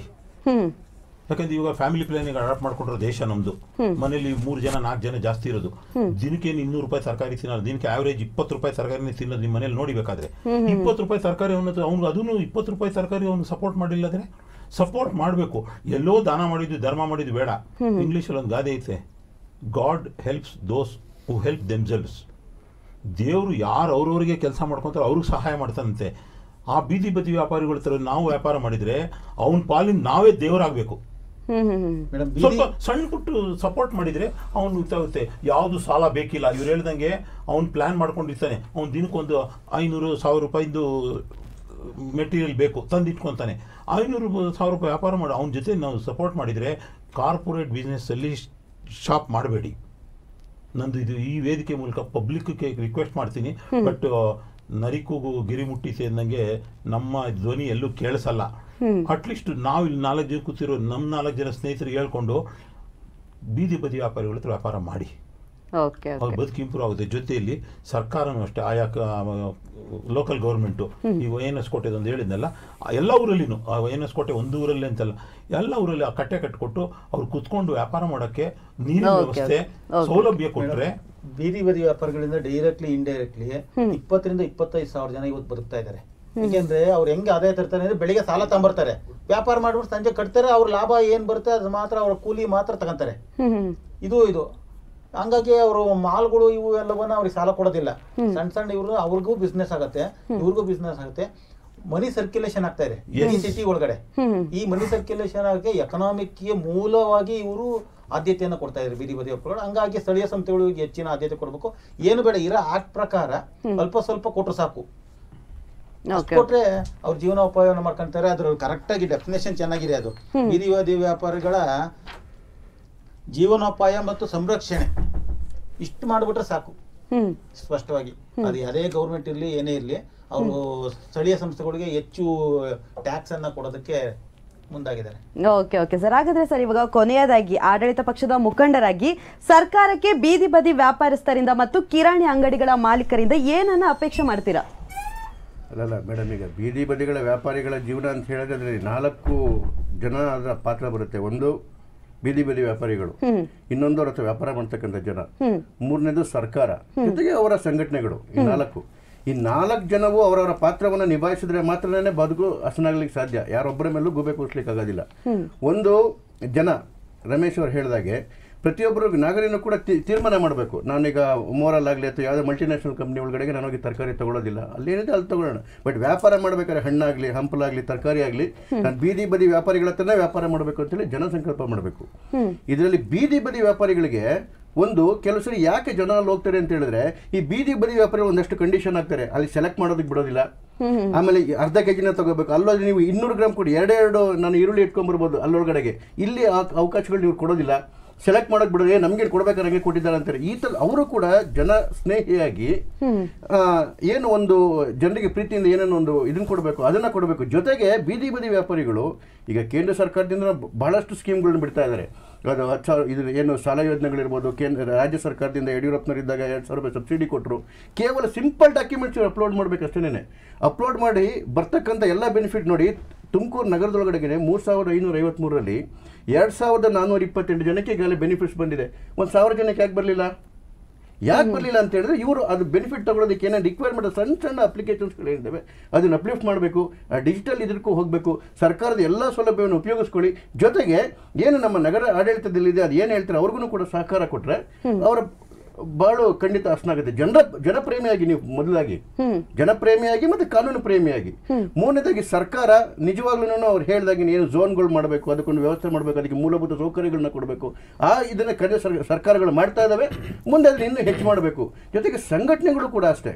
ಏನಾದರೂ ಒಂದು ನಗರಕ್ಕೋಸ್ಕರ ಏನಾದರೂ ಒಂದು ಒಂದು ಕಾನೂನು ಏನೋ ಆದರೆ ಈಗ ಎಂ ಜಿ ರೋಡಲ್ಲಿ ವ್ಯಾಪಾರ ಫುಟ್ಪಾತಲ್ಲಿ ವ್ಯಾಪಾರ ಮಾಡಬೇಡಿ. ಪಕ್ಕದಲ್ಲಿ ಕನ್ಸರ್ವೆನ್ಸಿ ಒಳಗಡೆ ಮಾಡಿದ ಸರ್ಕಾರ ಹೇಳಿದಾಗ ಇಲ್ಲ ನಾವು ಇಲ್ಲೇ ಮಾಡೋದು ಅಂತ ಹೇಳಿ ಇಟ್ಕೊಂಡು ಈ ಸಂಘಟನೆಗಳು ಮುಂದೆ ನಿಂತ್ಕೊಂಡು ಅವ್ರ ಬಾಳು ಹಾಳು ಮಾಡಿ ಇವ್ರ ಬಾಳನ್ನು ಹಾಳು ಮಾಡಿ ಸರ್ಕಾರಕ್ಕೂ ತಲೆನೋವು ಕೊಡ್ತಕ್ಕಂಥ ಕೆಲಸ ಮಾಡಬಾರ್ದು. ನಮ್ಮ ಪ್ರೈಮ್ ಪ್ರಯಾರಿಟಿ ಏನು? ಅವ್ರ ಬಾಳು ಹಸನಾಗ್ತಕ್ಕಂಥ ಕೆಲಸಕ್ಕೆ ಎಲ್ಲರೂ ಕೈ ಜೋಡಿಸ್ಬೇಕು. ನಾಲ್ಕು ಜನ ಕೈ ಜೋಡಿಸಿದ್ರೆ ಕಣ್ಣು ಮುಚ್ಕೊಂಡು ಅವ್ರ ಜೀವನ ಹಸನಾಗುತ್ತೆ ಓಕೆ ಓಕೆ ಸರ್ ಕೊನೆಯದಾಗಿ ಏನ್ ರಿಯಾಕ್ಷನ್ ಮಾಡ್ತೀರಾ? ಏನು ಕೇಳ್ತಾ ಇದ್ದೀರಾ ನೀವು? ಅಂದರೆ ಕೊನೆಯದಾಗಿ ಏನು ಸಲಹೆ ಪುಟ್ಟಿವರ್ ಕ್ವಶನ್ ಅಂದರೆ ಕೊನೆಯದಾಗಿ ಏನ್ ಸಲಹೆಯನ್ನ ಕೊಡ್ತೀರಾ ಅಂತ? ಬೀದಿ ಬದಿ ವ್ಯಾಪಾರಸ್ಥರಿಗೆ. ಈ ಕಾನೂನು ಇದೆಯಲ್ಲ? ಬೀದಿ ಬದಿ ವ್ಯಾಪಾರಿಗಳ ಹಿತರಕ್ಷಣೆಗೆ ಜಾರಿಗೆ ತಂದಿರುವಂತ ನಮ್ಮ ಕಾಂಗ್ರೆಸ್ ಪಕ್ಷದ ಸರ್ಕಾರ ಏನು ಅವಾಗ ಜಾರಿಗೆ ತಂದಿತ್ತು ಒಳ್ಳೆ ಕಾನೂನು ಇದು. ಆದ್ರೆ ಕಾಲ ಬದಲಾವಣೆ ಆದಂತೆ ಅನೇಕ ತಿದ್ದುಪಡಿಗಳು ಆಗ್ಬೇಕಾಗ್ತದೆ. ಆ ತಿದ್ದುಪಡಿಗಳು ಆಗ್ಬೇಕು ಅಂತಂದ್ರೆ ಸೊ ಸಾರ್ವಜನಿಕರು ಬೀದಿ ಬದಿ ವ್ಯಾಪಾರಿಗಳು ಅವರ ಸಂಘಟನೆಗಳು ರಾಜಕೀಯ ಪಕ್ಷಗಳು ಸ ಹಲವಾರು ಸಂಘ ಸಂಸ್ಥೆಗಳು. ಸೊ ಸರ್ಕಾರಕ್ಕೆ ಮತ್ತೆ ಕಾನೂನು ಆಯೋಗಕ್ಕೆ ಕಾಲ ಕಾಲಕ್ಕೆ ಸೊ ನೀವು ಕೆಲವು ಅಬ್ಜೆಕ್ಷನ್ಸ್ ಹಾಕ್ಬೇಕಾಗ್ತದೆ ಸಲಹೆಗಳನ್ನು ಕೊಡಬೇಕಾಗ್ತದೆ ಮಾರ್ಗದರ್ಶನ ಮಾಡಬೇಕಾಗ್ತದೆ. ಅಷ್ಟೇ ಮಾಡಿದಷ್ಟೇ ಸಾಲೋದಿಲ್ಲ ಒತ್ತಡ ಏರಿ ಇವತ್ತಿನ ಮಟ್ಟಕ್ಕೆ ಇವತ್ತಿನ ದಿನಮಾನಕ್ಕೆ ತಕ್ಕಂಥ ಪ್ರಯತ್ನವನ್ನು ಮಾಡಬೇಕಾಗ್ತದೆ. ಆಗ ಸುಖಿ ಸಾಮ್ರಾಜ್ಯ ಸುಖಿ ರಾಜ್ಯ ಆಗಲಿಕ್ಕೆ ಸಾಧ್ಯ ಆಗ್ತದೆ ಅಂತ ಹೇಳಲಿಕ್ಕೆ ಬಯಸ್ತಾ ಇದ್ದೀನಿ. ಓಕೆ ಸರ್ ಹಾಗಾದ್ರೆ ಸರ್ ಕೊನೆಯದಾಗಿ ನಿಮ್ಮ ಮಾತುಗಳೇನು? ವ್ಯವಸ್ಥಿತವಾಗಿ ಕೊಡಬೇಕು. ಅಲ್ಲಿ ಶೆಲ್ಟರು ನಾನು ಹೇಳಿದಲ್ಲ ಫಸ್ಟ್ ಹೇಳಿದಲ್ಲ ರಸ್ತೆಯಲ್ಲಿ ಕೂತ್ಕೊಂಡು ಮಣ್ಣಿನ ಮೇಲೆ ಕೂತ್ಕೊಂಡು ವ್ಯಾಪಾರ ಮಾಡ್ತಿರಲ್ಲ ಅವ್ರಿಗೊಂದು ಕಟ್ಟೆ ಕಟ್ಟಿ ಶೆಲ್ಟರ್ ಕೊಟ್ಟು ನೀರಿನ ವ್ಯವಸ್ಥೆ ಮಾಡಿ ಜನ ಒಳಗೆ ಬರಬೇಕು ಅಂತಂದ್ರೆ ಒಂದು ಆಂಬಿಯನ್ಸ್ ಕೊಡಬೇಕು. ಅದಕ್ಕೆ ದೊಡ್ಡ ಖರ್ಚಾಗೋದಿಲ್ಲ. ಲೋಕಲ್ ಗೌರ್ಮೆಂಟ್ಗಳು ಮುನ್ಸಿಪಾಲಿಟಿ ಕಾರ್ಪೊರೇಷನ್ಗಳು ಏನಿದೆಯೋ ಅದನ್ನ ವ್ಯವಸ್ಥೆ ಮಾಡಿಕೊಟ್ರೆ ಈ ತುಮಕೂರು ಇಷ್ಟು ದೊಡ್ಡ ಊರು ನಾಲ್ಕು ಕಡೆ ಇಂಥದ್ದೊಂದು ಚಿಕ್ಕ ಚಿಕ್ಕ ಮಾರ್ಕೆಟ್ ರೆಡಿ ಮಾಡಿಕೊಡ್ಲಿ. ಹ್ಮ್ ಆಟೋಮೆಟಿಕ್ ಆಗಿ ಇಂಪ್ರೂವ್ ಆಗ್ತದೆ. ಜನ ಅಲ್ಲಿ ಬರುತ್ತೆ ತೊಗೊಂತಾರೆ. ಇವಾಗ ನಾನು ಉದಾಹರಣೆ ಹೇಳಿದ್ನಲ್ಲ ಅಲ್ಲಿ ಅಲ್ಲಿ ಹೋಗ್ಬಿಟ್ಟು ಯಾರು ತರಕಾರಿ ತೊಗೊಂಬರ್ತಾರೆ ಹೇಳಿ ವೈ ಎನ್ ಎಸ್ ಕೊಟ್ಟಿದ್ದು ಹೇಳಿದ್ನಲ್ಲ. ಯಾರು ಹೋಗ್ತಾರೆ? ನಾನು ಹೋಗೋದಿಲ್ಲ. ಅಲ್ಲಿ ಯಾವಾಗ ಅಂದರೆ ನಮಗೆ ಆಂಬಿಯನ್ಸ್ ಚೆನ್ನಾಗಿರಬೇಕು. ಮಾರ್ಕೆಟ್ಗೆ ಹೋಗ್ಬೇಕು ಅಂತಂದ್ರೆ ಮಾರ್ಕೆಟಲ್ಲಿ ಒಳ್ಳೆ ರಸ್ತೆ ಒಳ್ಳೆ ನೀರಿನ ವ್ಯವಸ್ಥೆ ಒಳ್ಳೆ ಸಿಸ್ಟಮ್ಯಾಟಿಕ್ ಆಗಿದ್ರೆ ನಾವು ಒಳಗೆ ಬರ್ತೀವಿ ಮಾರ್ಕೆಟ್ಗೆ ಹೋಗ್ತೀವಿ. ಅವಾಗ. ಕಾರ್ಪೊರೇಟ್ ವ್ಯವಸ್ಥೆ ಏನಿದೆಯೋ ಅದನ್ನ ಬಿಟ್ಟು ಇಲ್ಲಿ ಹೊರಗಡೆ ಬರಬೇಕು ಅಂದ್ರೆ ವ್ಯವಸ್ಥೆ ಚೆನ್ನಾಗಿರ್ಬೇಕು. ಅಲ್ಲೊಂದು ನೀರಿನ ವ್ಯವಸ್ಥೆ ಇರಬೇಕು. ತರಕಾರಿ ತೊಗೊಳೋದಕ್ಕೆ ಆಂಬಿಯನ್ಸ್ ಚೆನ್ನಾಗಿರಬೇಕು. ಅದಿಲ್ಲದೆ ಇವಾಗ ನಾನು ಹೇಳಿದ್ನಲ್ಲ ಯಾವುದೋ ಊರಿಂದು. ಹಂಗೆ ಹಂಗಿದ್ರೆ ಯಾರು ಒಳಗೆ ಹೋಗ್ತಾರೆ ಅವಾಗ? ನ್ಯಾಚುರಲ್ ಆಗಿ ಅವ್ರ ವ್ಯವಸ್ಥೆ ಬಿದ್ದೋಗುತ್ತೆ ಅವ್ರ ಆರ್ಥಿಕ ಪರಿಸ್ಥಿತಿ ಬಿದ್ದೋಗ್ತದೆ. ಇಂಡೈರೆಕ್ಟ್ ಅವರು ಸಂಸಾರ ನಡ್ಸೋಕ್ಕಾಗಲ್ಲ ಅನಾರೋಗ್ಯಕ್ಕೆ ತುತ್ತಾಗ್ತಾರೆ ಎಜುಕೇಶನ್ ಕೊಡೋಕ್ಕಾಗಲ್ಲ. ದೇಶ ಹಂಗೆ ಇನ್ನು ಇಂದು ಹಿಂದಿಂದಕ್ಕೆ ಹೋಗುತ್ತೆ. ಮುಂದಕ್ಕೆ ಹೋಗೋ ವ್ಯವಸ್ಥೆ ನೋಡ್ಬೇಕು ದೇಶ. ಎಸ್ ಕರೆಕ್ಟ್ ಲಾಸ್ಟ್ನೇದಾಗಿ ಸರ್ ಬೀದಿ ಬದಿಯ ವ್ಯಾಪಾರಸ್ಥರ ಪರವಾಗಿ ನಿಮ್ಮ ಬೇಡಿಕೆಗಳೇನು? ಮೇಡಮ್ ಇದು ಬರೀ ಬೀದಿ ಬದಿ ವ್ಯಾಪಾರಿಗಳಷ್ಟೇ ಅಲ್ಲ ನಗರದ ಸಾರ್ವಜನಿಕರ ಹಿತದೃಷ್ಟಿಯಿಂದ ಬೀದಿ ಬದಿ ವ್ಯಾಪಾರಿಗಳೇ ಏನು ಬೀದಿ ಮೇಲೆ ವ್ಯಾಪಾರ ಮಾಡ್ತಾರೆ ಅವ್ರಿಗೆ ಹೆಚ್ಚಿನ ಪ್ರೋತ್ಸಾಹವನ್ನು ಕೊಡಬೇಕಾಗತ್ತೆ. ಬಟ್ ಅವರು ಒಂದು ನಾವು ಸಂಘಟನೆಗಳಾಗಿ ಇರ್ತಕ್ಕಂಥದ್ದು ನಮಗೆ ವ್ಯಾಪಾರ ಮಾಡೋದಕ್ಕೆ ಯಾವುದೇ ತೊಂದರೆಗಳಿಲ್ಲದೆ ಅದು ಪೊಲೀಸ್ ಇಲಾಖೆಯಿಂದ ಇರಲಿ ಪಾಲಿಕೆ ಸ್ಥಳೀಯ ಸಂಸ್ಥೆಗಳಿಂದ ಇದ್ರೆ ಇದ್ರಿ ಒಂದು ವ್ಯವಸ್ಥಿತವಾದಂಥ ಇದರಲ್ಲಿ ಒಂದು ಸಾಕಷ್ಟು ಫಂಡಿಂಗ್ ಬರ್ತಾ ಇದೆ. ನಾವಲ್ಲಿ ಪ್ರಾರಂಭದಲ್ಲಿ ಡೇನಲ್ ಮಲ್ಲಿ ದುಡ್ಡು ಬಂದಿದೆ ಖರ್ಚು ಮಾಡೋಕ್ಕಾಗ್ತಿಲ್ಲ ಸ್ಮಾರ್ಟ್ ಸಿಟಿ ಯೋಜನೆ ಒಳಗಡೆ ಇದೆ. ಇವತ್ತು ತುಮಕೂರು ನಗರದಲ್ಲಿ ಎಲ್ಲೂ ಅದನ್ನ ಕಾರ್ಯರೂಪಕ್ಕೆ ತರಕಾಗಿಲ್ಲ. ಇನ್ನು ಅಂದ್ರೆ ಪ್ರೋಸೆಸ್ ಅಲ್ಲಿ ಇದೆ. ಆ ಯೋಜನೆನೆ ಐದು ವರ್ಷಕ್ಕೆ ಮುಗಿಸ್ಬೇಕಾಗ್ತಾ ಬಂದಿದೆ. ಹಂಗಾಗಿ ಅದನ್ನ ಬೇಗ ಮುಗಿಸಿ ಬೀದಿ ಬದಿ ವ್ಯಾಪಾರಿಗಳಿಗೆ ಎಲ್ಲಿ ವೆಂಡಿಂಗ್ ಝೋನ್ಗಳ ಈಗ ಮಾಡೋದಕ್ಕೆ T V C committee recommendation ಮಾಡಿದ ಕಾರ್ಯರೂಪಕ್ಕೆ ನಡೆದ ಈಗ ಶಿವಕುಮಾರ ಸ್ವಾಮಿ ಸರ್ಕಲ್ ಅದೆಲ್ಲ ಬೇಗ ಮಾಡಿಕೊಟ್ರೆ ಅದೇ ಮಾದರಿ ಒಳಗಡೆ ಇನ್ನು ಮಿಕ್ಕಿದ ಕಡೆ ಎಲ್ಲಿ ಮಾಡ್ಬೋದು ಅನ್ನೋದಕ್ಕೆ ಮಾಡಿದ್ರೆ ಆದ್ಯತೆ ಕೊಟ್ಟರೆ ಖಂಡಿತವಾಗ್ಲೂ ಸಾರ್ವಜನಿಕರಿಗೂ ಅನುಕೂಲ ಆಗುತ್ತೆ ಬೀದಿ ಬದಿ ವ್ಯಾಪಾರಿಗಳಿಗೂ ಅನುಕೂಲ ಆಗುತ್ತೆ ಅನ್ನೋದಿದೆ. ಆಮೇಲೆ ಅವ್ರಿಗೆ ಆತ್ಮನಿರ್ಭರ್ ಯೋಜನೆ ಒಳಗಡೆ ಹತ್ತು ಸಾವಿರ ರೂಪಾಯಿ ಬಂದಿದೆ ಸಿಕ್ಸ್ಟಿ ಟು ಸೆವೆಂಟಿ ಪರ್ಸೆಂಟು ಅವ್ರು ಆಲ್ರೆಡಿ ಬಿಡಿತಾರೆ ಈಗ ತೀರಿಸಿದಾದ್ಮೇಲೆ ಇಪ್ಪತ್ತು ಸಾವಿರ ರೂಪಾಯಿಗೆ ಈಗ ಅವರು ಅರ್ಜಿ ಹಾಕ್ತಾ ಇದ್ದಾರೆ. ಕೆಲವರಿಗೆ ಇನ್ನು ಕೆಲವರಿಗೆ ಸಿಕ್ಕಿಲ್ಲ. ಆ ಸಿಗುವಂತ ರೀತಿ ಒಳಗಡೆ ಎಲ್ಲರಿಗೂ ಲೋನ್ ಏನು ಇದೆ ಅದು ಸಿಗಬೇಕು ಅನ್ನೋದು ನಮ್ಮ ಸಂಘಟನೆ ಒತ್ತಾಯ ವೆಂಡಿಂಗ್ ಕಮಿಟಿಗಳನ್ನ ಆದಷ್ಟು ಶೀಘ್ರ ಆಗಬೇಕು. ಕನ್ಸರೆನ್ಸಿಗಳು ಎಲ್ಲಿ ವೇಸ್ಟ್ ಆಗಿದೆ ಅದನ್ನ ಬೀದಿ ಬದಿ ವ್ಯಾಪಾರಿಗಳು ಎಲ್ಲ ಕನ್ಸರೆನ್ಸಿ ಬೇಕಾಗಿಲ್ಲ ಒಂದು ಕನ್ಸರಿ ಕನ್ಸರೆನ್ಸಿ ಕೊಟ್ಟು ಸಾರ್ವಜನಿಕರ ಜವಾಬ್ದಾರಿ ಜಾಸ್ತಿ ಇದೆ. ಅವ್ರು ಸಾಲ ಹೆಂಗ್ ತರಬೇಕು ಸಾಲಗಾರರು ಹೆಂಗ್ ಮಾಡ್ಬೇಕು ಇದೇ ಸ್ಕೀಮ್ಗಳು ಮಾತಾಡ್ಬಿಟ್ರೆ ಆಗಲ್ಲ. ಅವ್ರ ಹತ್ರ ವ್ಯಾಪಾರ ಮಾಡಿದ್ರೆ ಅವ್ರ ಹತ್ರ ವ್ಯಾಪಾರ ಮಾಡಿದ್ರೆ ಇವಾಗ ಫಾರ್ ಎಕ್ಸಾಂಪಲ್ ದೊಡ್ಡ ದೊಡ್ಡ ಕಾರ್ಪೊರೇಟ್ ಶಾಪ್ಗಳು ಬಂದಿದೆಯಲ್ಲ ಅಲ್ಲಿ ಎಷ್ಟು ಬಿಸ್ನೆಸ್ ಆಗ್ತಿದೆ ಗೊತ್ತಾ? ತರಕಾರಿ ಐವತ್ತು ಸಾವಿರ ಬಿಸ್ನೆಸ್ ಮಾಡ್ತಾರ ಅವ್ರು ಡೈಲಿ ಮೇಡಮ್ ನಂದು ಒಂದು ತರಕಾರಿ ಐವತ್ತೈದು ಸಾವಿರ ವ್ಯಾಪಾರ ಮಾಡೋದು ಅದು ಯಾರ್ದು ಬಿಸ್ನೆಸ್ ಅದು? ರೋಡ್ ಸೈಡ್ ವೆಂಡರ್ ಪೊಲೀಸ್ ಇಲಾಖೆ ಮತ್ತು ಸ್ಥಳೀಯ ಸಂಸ್ಥೆಗಳು ನಿಂತ್ಕೊಂಡು ಎಲ್ಲೆಲ್ಲಿ ಬೀದಿ ಬದಿ ವ್ಯಾಪಾರಿಗಳಿದ್ರೆ ಅವರು ಒಂದು ಪಟ್ಟೆ ಹಾಕ್ಬಿಟ್ಟು ಒಂದು ಇಷ್ಟು ten by ten six by six ಏನಾದ್ರು ಅಳತೆ ಮಾಡಿ ಅವ್ರಿಗೆ ಒಂದು ನಂಬರಿಂಗ್ ಮಾಡ್ಕೊಟ್ಬಿಟ್ರೆ ಅವ್ರಿಗೆ ರೆವಿನ್ಯೂನು ಬರುತ್ತೆ. ಒಂದು ನಂಬರಿಂಗ್ ಎಲ್ಲ ಕೊಟ್ಟು ಬೆಂಗಳೂರಿನ ಉದಾಹರಣೆ ಹೇಳಿದ್ನಲ್ಲ. ಗಾಂಧಿ ಬಜಾರಲ್ಲಿ ಅಲ್ಲಿ ಮಾಡ್ಕೊಟ್ಟಿದ್ದಾರೆ. ಒಂದು ಅವ್ರು ನೋಡಿ ಬೇಕಾದ್ರೆ ಸ್ಲೇಟ್ ಇಟ್ಕೊಂಡು ಹಾಕೊಂಡಿರ್ತಾರೆ ನಂಬರ್ನ ಇಷ್ಟು ಮಾಡಿಕೊಟ್ಟಿದ್ದಾರೆ, ಅವ್ರು ಕಾರ್ಡ್ ಕೊಟ್ಟಿದ್ದಾರೆ. ಇಲ್ಲೂ ಗುರುತಿನ ಚೀಟಿ ಎಲ್ಲ ಕೊಟ್ಟಿದ್ದಾರೆ. ಕೊಟ್ಟುಬಿಟ್ರೆ ಮಹಾನಗರ ಪಾಲಿಕೆಗೂ ರೆವಿನ್ಯೂ ಬರುತ್ತೆ. ಸಾರ್ವಜನಿಕರಿಗೂ ತೊಂದರೆ ಆಗೋದಿಲ್ಲ. ಇದನ್ನು ಆದ್ಯತೆ ಮೇಲೆ ಇದನ್ನು ಪ್ರಮುಖವಾಗಿ ಮಾಡಬೇಕು ಮೂಲಭೂತ ಹಕ್ಕುಗಳಲ್ಲಿ ಅಂತೇಳಿ ನಾನು ಈ ಒಂದು ಇದರೊಳಗಡೆ ಒತ್ತಾಯವನ್ನು ಮಾಡ್ತಾ ಇದ್ದೀನಿ. Okay okay. ಎಸ್ ವೀಕ್ಷಕರೇ, ಇಷ್ಟೊತ್ತು ನಮ್ಮೊಂದಿಗಿದ್ದು ಚರ್ಚೆಯಲ್ಲಿ ಪಾಲ್ಗೊಂಡಂತಹ ಸಿಐಟಿಯು ತುಮಕೂರು ಜಿಲ್ಲಾ ಕಾರ್ಯದರ್ಶಿ ಆಗಿರುವಂತಹ ಸುಬ್ರಹ್ಮಣ್ಯ ಸರ್ ಅವರಿಗೆ ತುಂಬ ಹೃದಯದ ಧನ್ಯವಾದಗಳು. Thank you so much sir ಹಾಗೆ ಈ ಕಾರ್ಯಕ್ರಮದಲ್ಲಿ ನಮ್ಮ ಜೊತೆ ಮತ್ತೋರ್ವರು ಚರ್ಚೆಯಲ್ಲಿ ಪಾಲ್ಗೊಂಡಂತಹ ಎಂ ಎಸ್ ಮೆಡಿಕಲ್ ಕಾಲೇಜ್ನ ರಮೇಶ್ ಅವ್ರಿಗೂ ಕೂಡ ತುಂಬ ಹೃದಯದ ಧನ್ಯವಾದಗಳು. Thank you so much sir ಹಾಗೆ ಕೆಪಿಸಿಸಿ ಸ್ಪೋಕ್ ಪರ್ಸನ್ ಆಗಿರುವಂತಹ ನಿರಂಜನ್ ಅವ್ರಿಗೂ ಕೂಡ ತುಂಬ ಹೃದಯದ ಧನ್ಯವಾದಗಳು. Thank you so much sir ಹಾಗೆ ಮತ್ತೋರ್ವರು ತುಮಕೂರು ಜಿಲ್ಲೆ ಬಿಜೆಪಿ ಉಪಾಧ್ಯಕ್ಷರಾದಂತಹ ಚಂದ್ರಶೇಖರ್ ಸರ್ ಅವ್ರಿಗೂ ಕೂಡ ತುಂಬ ಹೃದಯದ ಧನ್ಯವಾದಗಳು. Thank you so much sir ವೀಕ್ಷಕರೇ ಮತ್ತೊಂದು ವಿಶೇಷ ಕಾರ್ಯಕ್ರಮದಲ್ಲಿ ನಾನು ನಿಮ್ಮನ್ನ ಭೇಟಿ ಮಾಡ್ತೀನಿ ಅಂತ ಹೇಳ್ತಾ ಅಲ್ಲಿವರೆಗೂ ನೋಡ್ತಾ ಇರಿ ಪ್ರಗತಿ ಟಿವಿ. ಇದು ನಿಮ್ಮಿಂದ ನಿಮಗಾಗಿ.